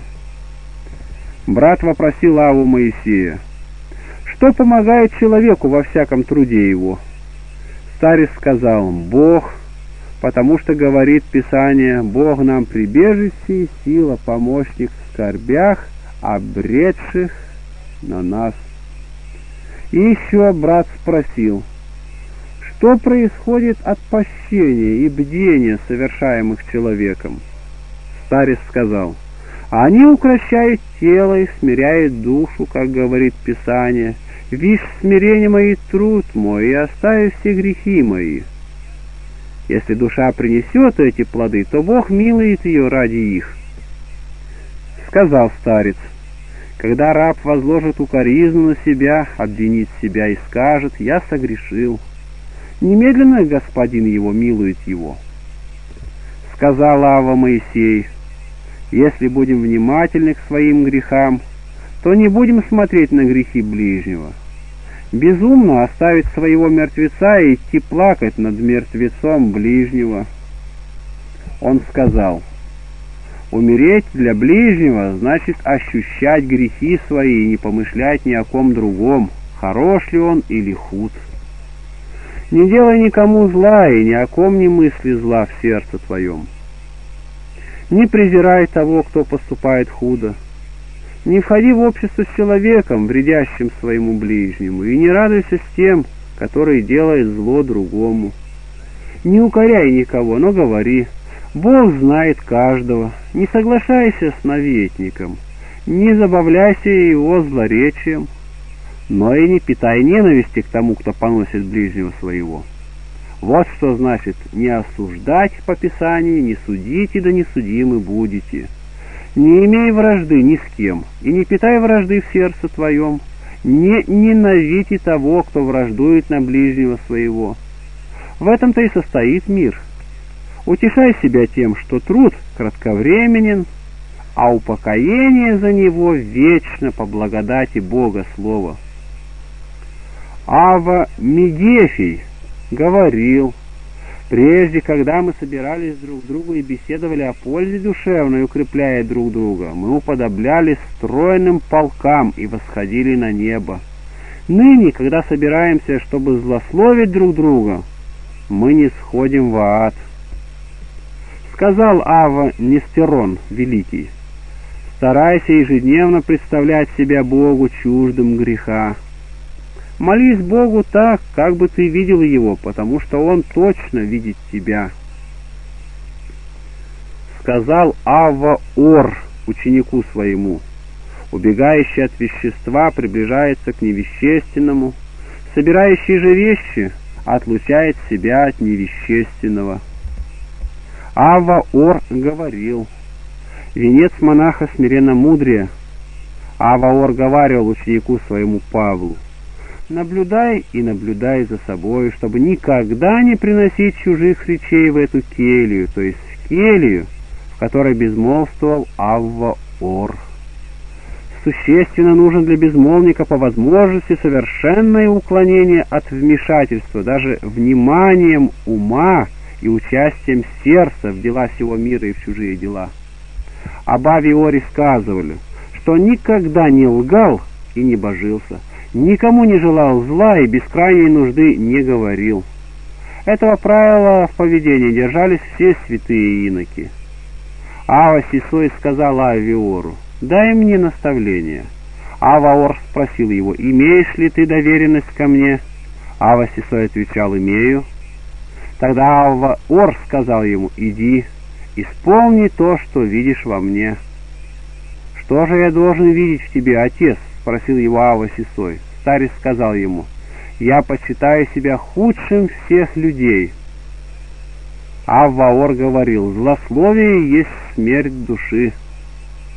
Еще говорил, «Какая бы ни постигла тебя скорбь, не обвиняй в ней никого, кроме себя, и говори, это случилось со мной за грехи мои».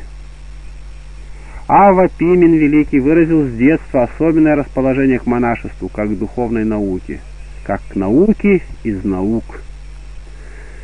Тщательное изучение глубоких изречений этого отца, облеченных в необыкновенную простоту слова, доказывает, что он достиг самого правильного самовоззрения. Достигал он его при свете Евангелия, стяжал он его при свете благодати Святого Духа, обильно осенивший его блаженный подвиг. При посредстве этого подвига он увидел в себе падение человечества, состояние общения и плена, в которых оно находится по отношению к падшим духам.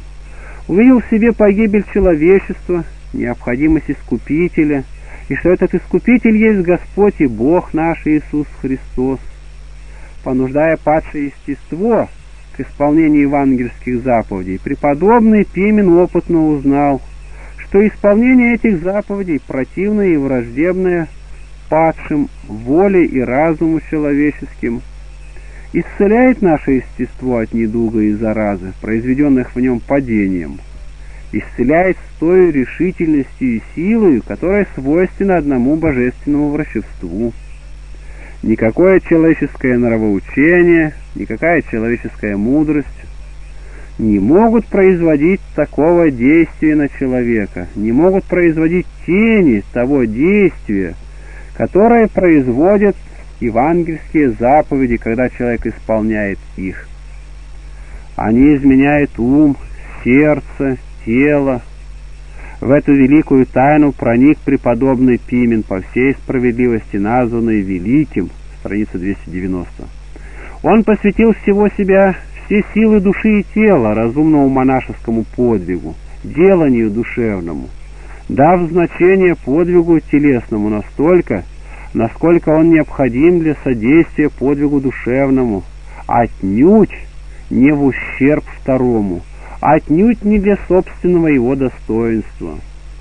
С самоотвержением, с попранием правды своей и человеческой, с решительным невниманием к мнению человеческому – Пимен всецело стремился к исполнению правды Божией, откровенной во Евангелии.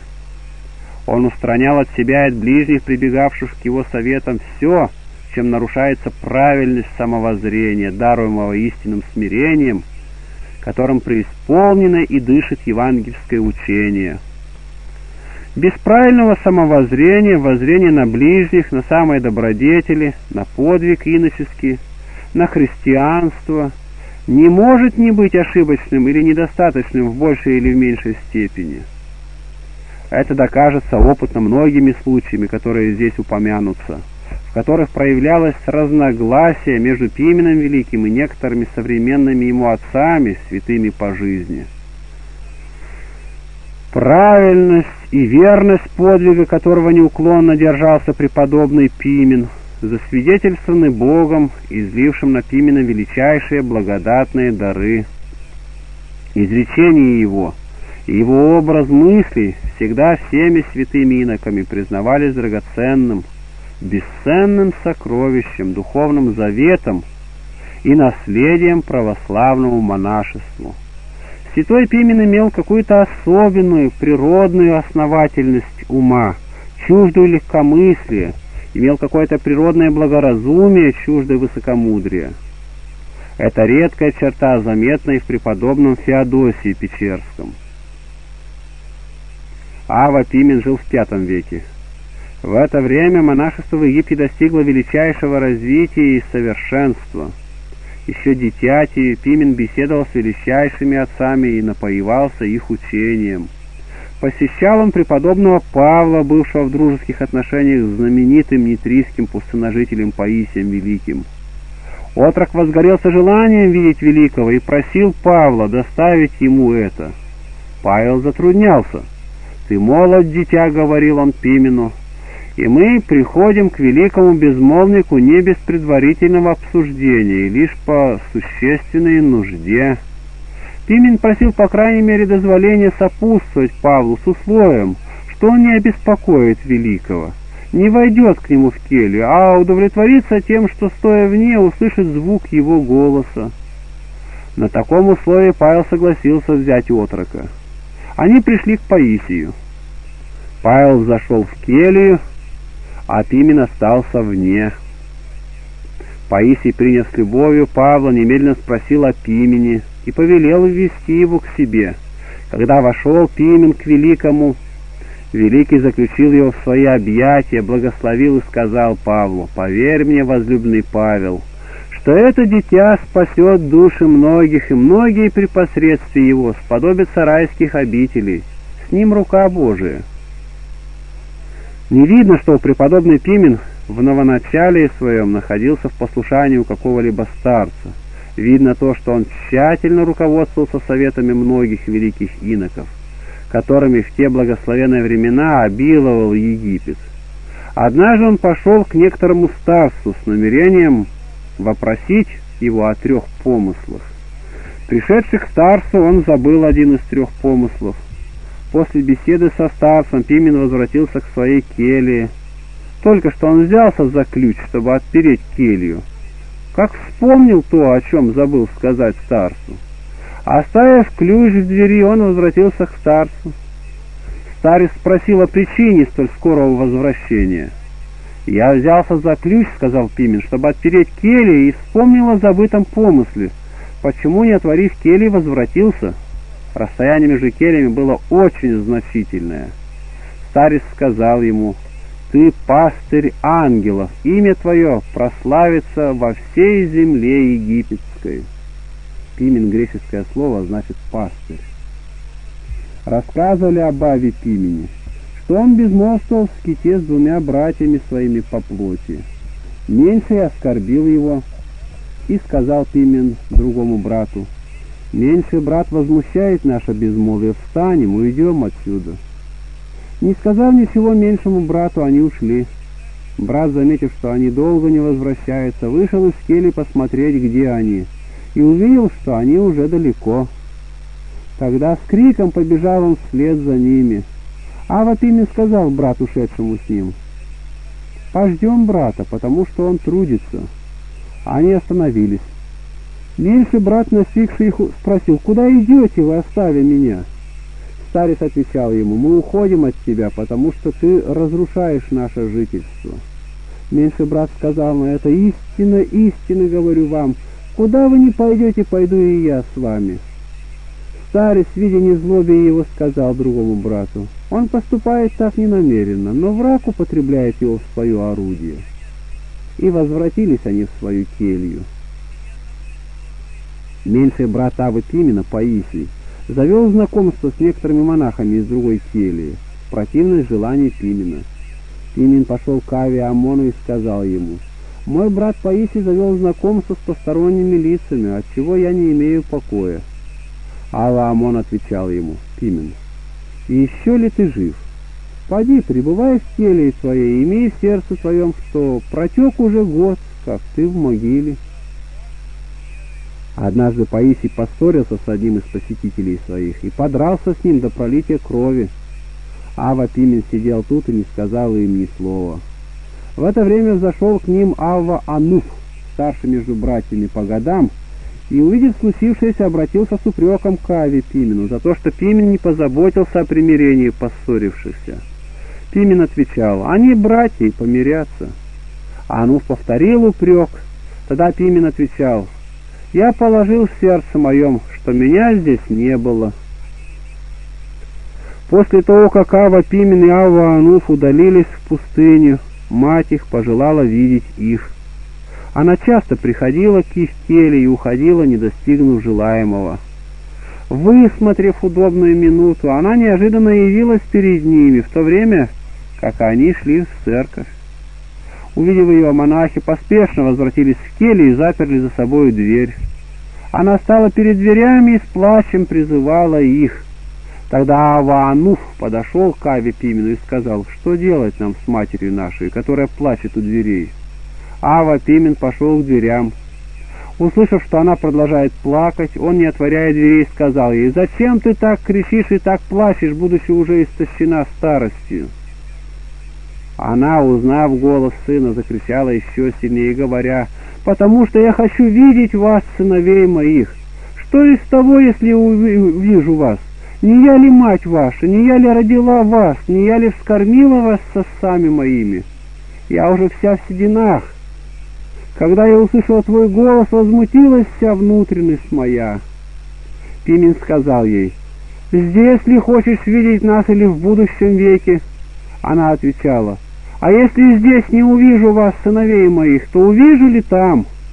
Пимен, «Если с благодушием откажешься от свидания здесь, то, наверное, увидишь там».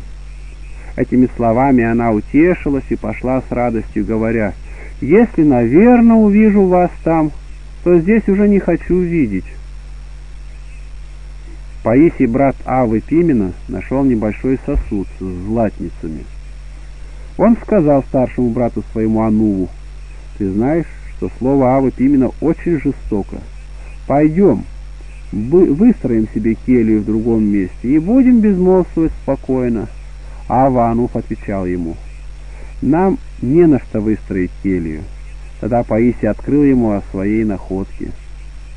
Это очень опечалило Ауануа, который понял, что находка может быть причиной душевной погибели для Паисия.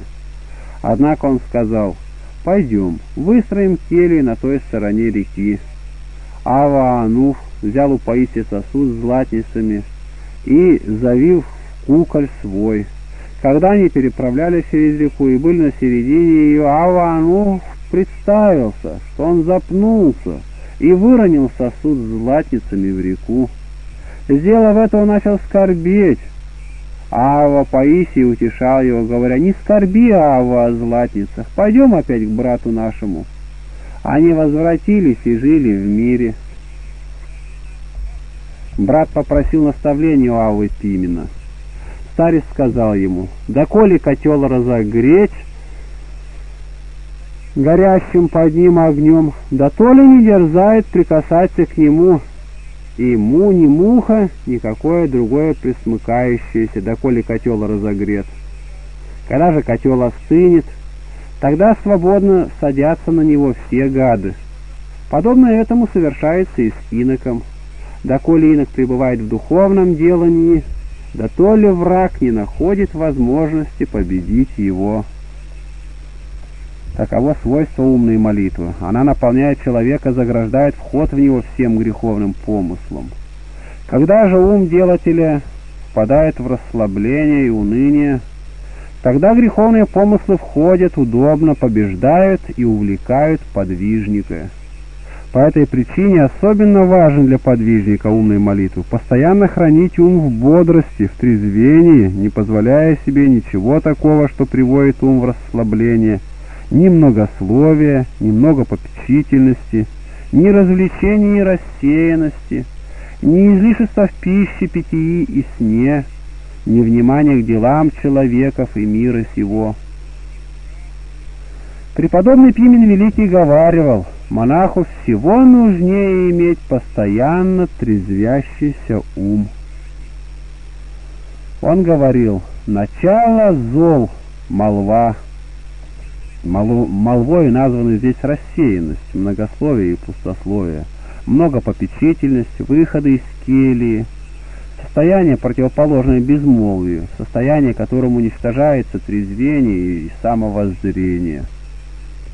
Однажды Ава Исаак сидел у Авы Пимена. В это время раздался голос петуха и спросил Аву Пимена Ава Исаак, «Ава, здесь есть петухи?» Пимен отвечал ему, «Исаак, Зачем ты принуждаешь меня говорить об этом? Ты и подобные тебе слышат петухов, а тому, кто трезвится, нет дела до них. Таково свойство умного делания. Им постепенно усиливается трезвение, и самовоззрение, наконец, достигает такой степени, что делатель теряет сочувствие ко всему вещественному окружающему его. Он, слыша, не слышит и видя, не видит того, что делается вокруг его. 295 страница. Ава Пимен, Ава Анул и прочие братья их числом пять, сыны одной матери, приняли монашество в скиту. На эту пустыню сделало нападение варварское племя – Мазики. Они разорили хижины монахов и умертвили многих из отцов. В числе убитых был и преподобный Моисей Мурин. Пимены, братья его, спаслись бегством из скита. Они пришли в место, называемое Феринуф, и все семь остановились на время там, в опустевшем идольском храме, с намерением обсудить избрание места для постоянного жительства. При этом Ава Ануф сказал Аве Пимену, «Сделай милость, ты и братья исполните мою просьбу. Течение этой недели будем жить каждый отдельно в молчании, не сходясь для беседы». Ава Пимен отвечал, «Сделаем по желанию твоему». Они поступили так.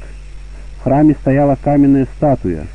А Нух, вставая ежедневно рано утром, кидал камнями в лицо статуи, а вечером подходил к ней и просил прощения. Так делал он в течение всей недели. В субботу братья сошлись вместе, и сказал Ава Пимен Аве «Видел я, Ава, что ты в течение этой недели кидал камнями в лицо статуи, а потом поклонялся ей и просил у нее прощения. Верующий во Христа не должен кланяться идолу.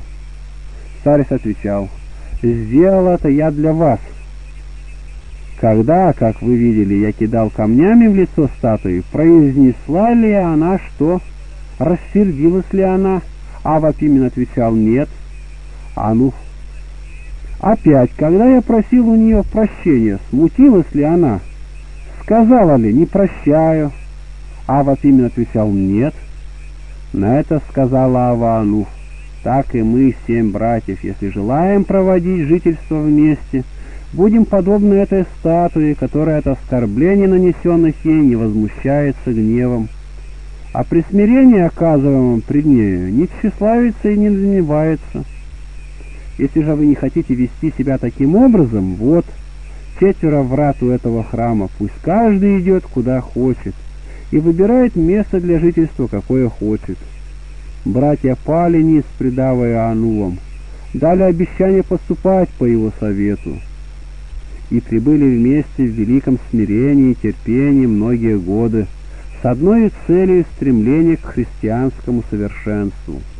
В ночи они спали четыре часа, четыре часа проводили в псалмопении и четыре в рукоделии. Днем они занимались попеременно молитвой и рукоделием до шестого часа, выделывая разные вещи из пальмовых ветвей. До девятого часа занимались чтением, а после этого приготовляли себе пищу, собирая некоторые полевые травы. Впоследствии, рассказывал Ао Пимен, мы провели все время жизни нашей в труде, подчиняясь распоряжениям Авва Анува. Одному из нас он поручил хозяйство наше, мы ели то, что было предлагаемо нам – Никто из нас не позволял себе сказать «дай мне чего-нибудь другого» или «я этого не хочу». Таким образом, мы провели всю жизнь нашу в безмолвии и мире. Жительство свое проводил Тимин Великий в среде небольшого общежития, состоящего из родных братьев его. Находясь постоянно с ними, он уединялся в себе и достиг совершенства постоянным и усиленным трезвением, устраняя все препятствия, которым могло бы нарушиться его делание. Очень верное средство к сохранению сердечного мира и безмолвия и неразлучной с ними умной молитвы преподает святой апостол. «Друг друга тяготы носите, — говорит он, — и так исполните закон Христов». Люди наиболее устремляются в противное этому состоянию. Они ищут от ближних неопустительности и совершенства в добродетели, несвойственных и невозможных человеку, притом имея о добродетели самое недостаточное, даже превратное понятие. Такое безрассудное стремление не допускает сердцу погрузиться в самовоззрение и истинное смирение, из которых истекает умная молитва и сердечное безмолвие, Такое безрассудное стремление содержит сердце в непрестанном возмущении и приносит уму множество чуждых смысла, помыслов и мечтаний. Друг друга тяготы носите, и так исполните закон Христов. В обширной пустыне Скит совмещалось разнообразное жительство иноческое – там были и общежития, и жительство вдвоем или втроем, называемое «царский путь», и отшельничество или жительство наедине. Из оставшихся повестей о Пимене Великом очевидно, что по духовному преуспеянию он первенствовал между братьями, что для духовного назидания стекались иноки к нему, хотя он постоянно смиренно мудрый отдавал преимущество во всем, во всех отношениях, старшему своему брату Авиану. В этих повестях имеется основание к догадке, что по времени Пимен стал во главе своего общежития, вероятно, по смерти Ануа. В повестях Келия Пимена Великого иногда называется монастырем, чем означается вообще уединенное помещение. По разорению скита варварами Пимен с братьями своими жил в разных местах, об одном из таких мест братья его сказали ему, «Уйдем отсюда, потому что здешние монастыри смущают нас, и мы губим души наши. К тому же и дети плачем своим нарушают наше безмолвие». А вот именно отвечал, «Вы хотите бежать отсюда, чтобы не слышать ангельских голосов». Таков плод умного делания. А оно, исцеляя мало-помалу греховную заразу сердца, изменяет отношение его к окружающим предметам и обстоятельствам. Сердце начинает смотреть на все не из своего, на все из своего смирения и из своей благости, из своего самоотвержения, из своей мертвости для мира, из своей жизни в Боге. Однажды пришли пресвитеры в тот монастырь, в котором имел жительство Ава Пимен. По этому случаю вошел к нему Ава Анух и сказал ему, «Не пригласить ли теперь пресвитеров в нашу келью?» Сделав этот вопрос, он стоял долго, но Пимен ничего не отвечал ему, и он вышел огорченный. Сидевшие у Пимена спросили его, «Отец, отчего ты не отвечал ему?» На это Пимен сказал им, «Это дело не относится до меня, потому что я умер». Умерший не говорит, не вменяйте меня, что я живу с вами здесь. Делатель умной молитвы теряет способность к занятиям вещественным по причине утраты сердечного сочувствия к ним и по причине необыкновенного развитого сочувствия к духовному миру, вход в который – самовоззрение. Однажды местный правитель взял под стражу одного из сродников Авы Пимена. Другие сродники пришли к Ави и просили его, чтобы он сходил к правителю и походатайствовал за заключенного. Ава отвечал им, «Дайте мне сроку три дня, и тогда я схожу». В течение этих трех дней он молил Бога, «Так, Господи, не дай мне успеха в этом деле, иначе не попустит меня прибыть на месте этом, непрестанно вовлекая в мирские попечения».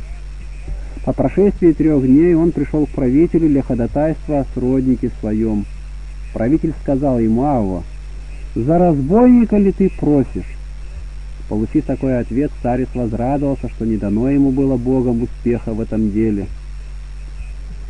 «Всякая милостыня, — говорил святой Исаак Сирский, — безмолвнику или любовь, или милосердие, словом, все, что, по-видимому, признается делом ради Бога, но отвлекает от безмолвия, обращает внимание твое к миру, ввергает тебя в попечение и заботы, прерывает к тебе память Божию, прерывает твои молитвы, вводит в свои помыслы мятеж и разнообразные колебания, препятствует тебе заниматься чтением божественных писаний, ослабляет твое охранение, вынуждает тебя после входа твоего в затвор выходом из него и после удаления от людей к общению с людьми, возбуждает от сна погребенные в тебе страсти, разрешает узы, которые обузданы твои чувства, воскрешает твое умершление для мира, сводит тебя с высоты делания ангельского к добродетелям человеческим.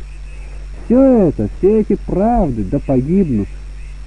Исполнение долга любви к ближним в удовлетворении их телесным потребностям принадлежит к деланию мирян или иноков, недостаточных до совершенного безмолвия. Но при безмолвии своем, пребывающих в общении с ближними, постоянно позволяющих себе выходы из келии и прием в келью посетителей, это отнюдь не делание истинных безмолвников. Невозможно удовлетворять обоим деланиям, телесному служению ближнему, служению молитвой и преподаванием Слова Божия, как это сказали святые апостолы. Они, предоставив другим попечение о телесных нуждах братства, избрали для себя пребывание в молитвах и Слове Божием. Точно так поступали и иноки, достигшие высокого духовного преуспеяния.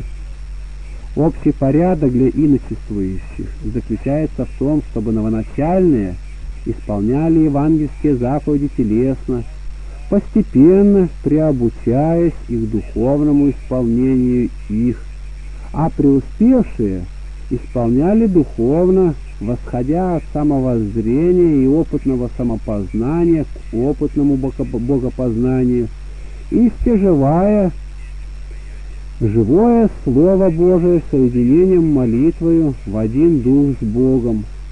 Только такое Слово может приносить существенную пользу ближним, изменять и обновлять души их своей благодатной силой и жизнью. Здесь это сказано для объяснения монашеского жительства. Если Паисию, современнику и родному брату Пимена, казались слова и дела его жестокими, тем удобнее могут они показаться такими в наше время, когда духовные добродетели забыты, попраны, осмеяны, когда возено поклонение одним добродетелям телесным, совершаемым в духе мира, противоположным и враждебным Евангелию. Далее увидим, какими изумительными дарами Святого Духа запечатлено и засвидетельствовано мудрование и жительство Пимена.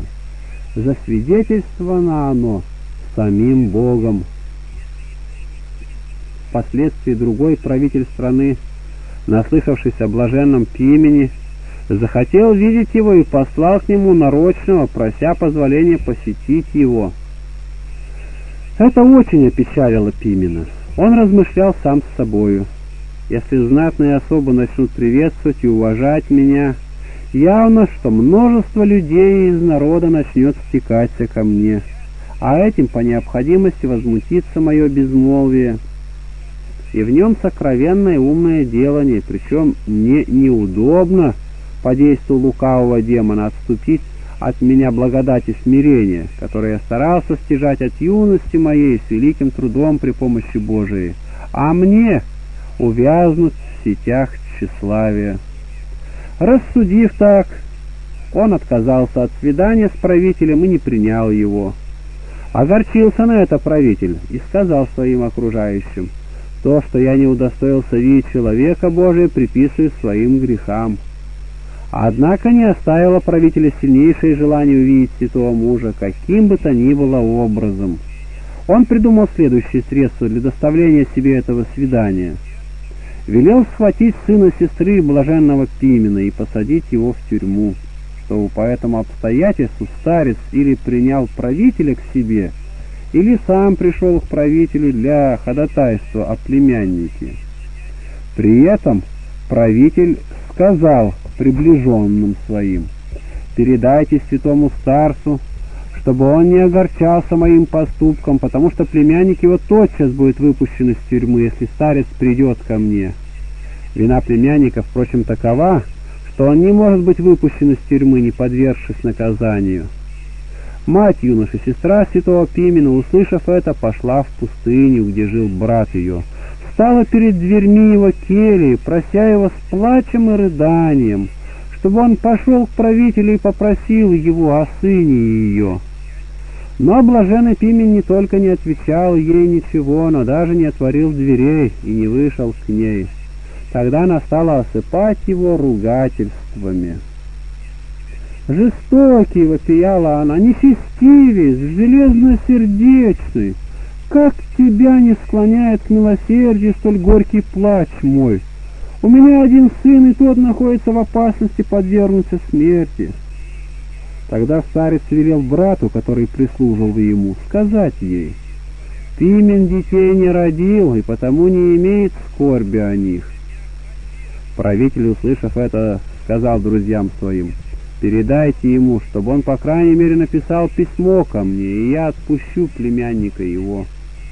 Тогда, будучи уговорен многими, старец написал правителю следующее. «Да повелит благородие твое тщательно исследовать вину заключенного, и если он сделал что достойное смерти, пусть умрет. Пусть насильственной смертью очистит в нынешнем веке свое преступление» чтобы избежать вечной муки в гиене. Если же он не сделал ничего достойного смертной казни, то учини о нем распоряжение, указываемое законами. Правитель, получив это письмо, тотчас выпустил юношу из тюрьмы. Однажды значительное число старцев пришло к Каве Пимену, а один из его родственников имел сына, у которого от действия болезни, причиненной дьяволом, искривилось лицо и поворотилось назад. Отец отрока, увидев множество старцев, пришел с сыном к келье старца и сидел вне ее, плача. Один из старцев случайно вышел из кельи и, увидев его, спросил, о чем ты плачешь? «Я родственник Авы Пимена», — отвечал плакавший человек. «Видишь, какая напасть случилась с сыном моим. Я намеревался было привести его к Стасу, но побоялся, потому что он даже не хочет видеть нас. И теперь, если узнает, что я здесь, то пошлет прогнать меня. Увидев, что вы собрались сюда, и я осмелился прийти, Ава, окажи мне милость, как знаешь. Введи дитя с собой в кель и помолитесь о нем». Старец взял отрока, вошел с ним в келью и совершил дело с благоразумием. Он не подвел отрока прямо к отцу Пимену, но начал с младших старцев, подводя к каждому из них и прося оградить крестным знамением. Когда все по порядку знаменовали его, тогда старец, подведя его уже ко всем, после всех подошел и к Пимену. Ава не хотел допустить его к себе, но старцы начали просить, говоря, что сделали все, то сделай и ты. Тогда Ава Пимен вздохнув, встал и помолился, сказав, Боже, исцели создание Твое, да не обладает им враг. И знаменал его крестным знамением. Отрок немедленно исцелился и отдан отцу здоровым. Поведала Ава Иоанн. Пришли мы однажды из Сирии к Ави Пимену, желая спросить его о нечувствии сердца. Старец не знал по-гречески, а переводчика в то время не случилось. Страница 301. Видя нашу печаль, старец внезапно начал говорить на греческом языке. Вода по свойству своему мягка, а камень тверд. Но если под камнем висит жолоб, то вода, стекая по нем каплями на камень, мало-помалу пробивает камень. Так и Слово Божие мягко, а сердце наше жестко.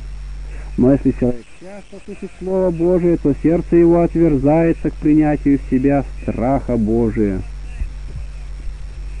Последние две повести помещены здесь после тех повестей и изречений преподобного Пимена – которых изображено умершление его в отношении к миру, долженствующее показаться странным плоскому мудрованию, и пред повестями и изречениями, преимущество изображающим духовный подвиг преподобного Пимена. Великие благодатные дарования, достояние одних великих отцов, вынаруженные в Пимене насилием обстоятельств, доказывают, как благоугодны были Богу настроения, образ мысли и жительства этого инока.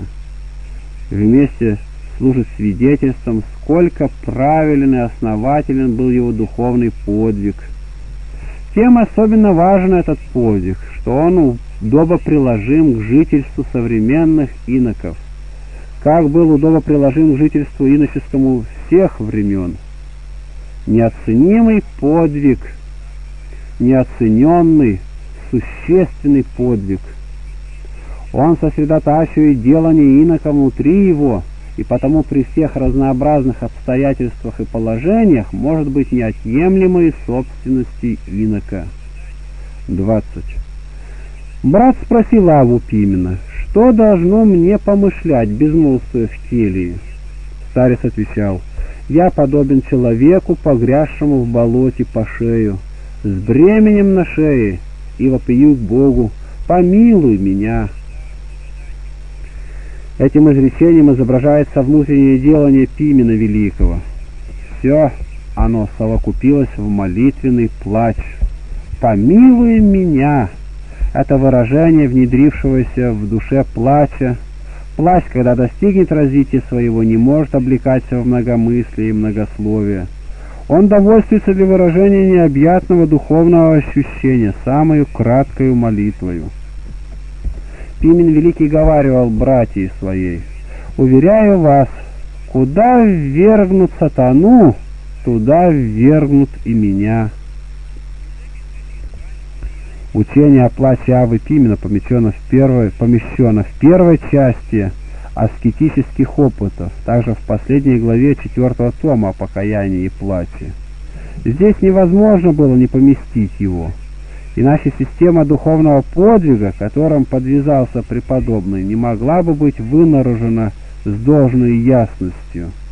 Далее увидим, что все наставления его инокам ведут к доставлению правильного самовоззрения, к устранению всего, что отвлекает от этого самовоззрения, из которого истекает истинное покаяние и истинная молитва, примиряющие и соединяющие человека с Богом. Пимен Великий говаривал братьей своей, «Уверяю вас, куда ввергнут сатану, туда ввергнут и меня». Это изречение – плод духовного видения отверженных духов и того общения, в котором человек вступил с ними при посредстве своего падения. Открылось это видение преподобному от глубокого, правильного самовоззрения, которое он был возведен Словом Божиим, своим умным деланием и божественной благодатью.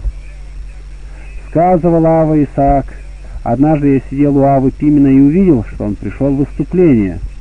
Я поклонился ему до земли, прося сказать мне, где он был. Принужденный объявить тайну свою, он сказал, «Мой ум был при кресте Спасителя. В те минуты, когда при кресте стояла Богоматерь Мария и плакала, мне бы хотелось так плакать всегда». Возлюбленным был плач преподобному Пимену. Сперва плач очищает от грехов, потом начинает восхищать очищенного по временам в духовное видение, изменяя ум, изменяя чувство душевное и телесное благодатным изменением, необъяснимым в среде плотского мудрования, превысшим всех состояний, свойственных естеству падшему. Слезы кающегося, приносящего покаяние от сознания грехов, сопряжены с горечью сердца, с болезненным действием на тело. Слезы очищенного и приносящего покаяния от обилия смирения сладостны для души, сообщает питание самому телу. Святой Исаак Свирский называет помышления и ощущения, от которых изливаются эти слезы, и которыми они сопутствуются, странною радости, страною радости – они изменяют самый наружный вид лица человеческого.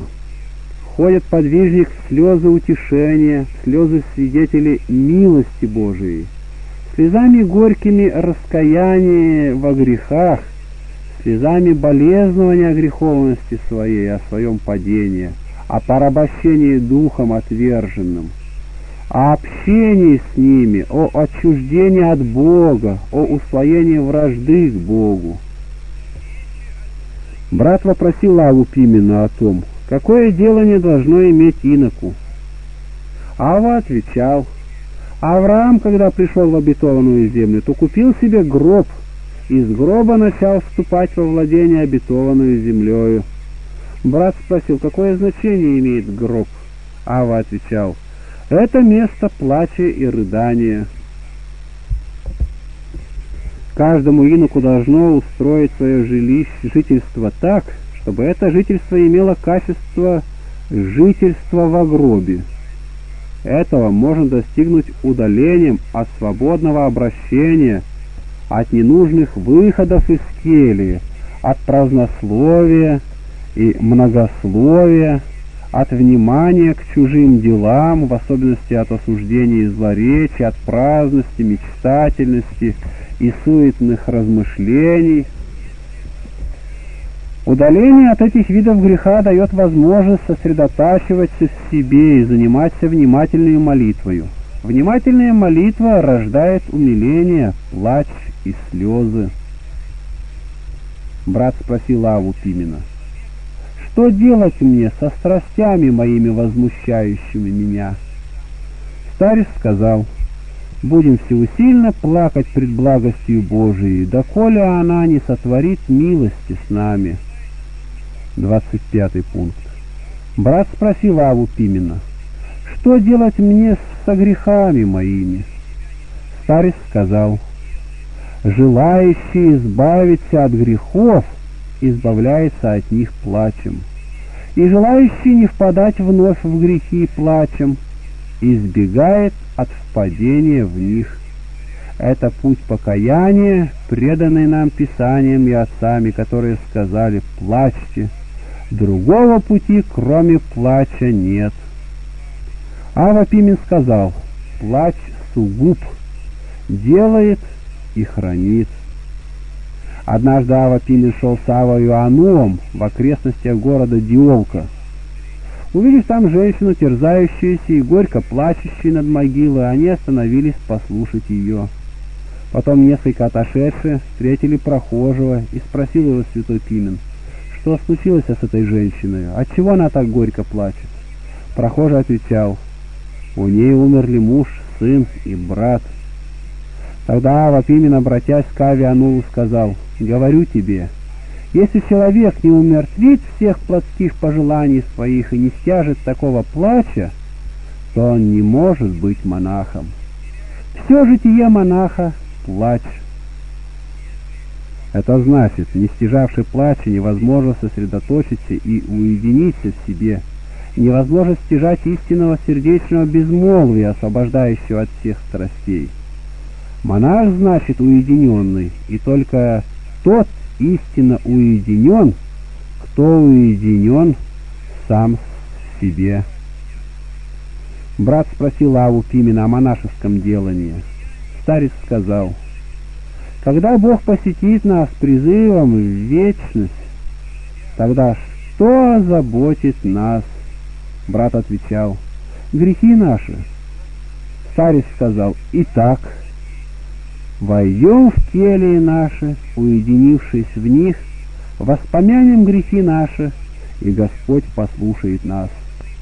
Здесь говорится воспоминание о грехах, содеянном с плачем о них, соединенном с плачем о них.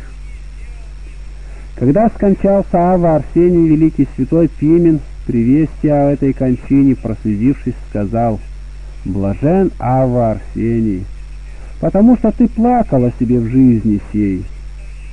Невозможно не плакать или здесь произвольно, или невольно в адских муках.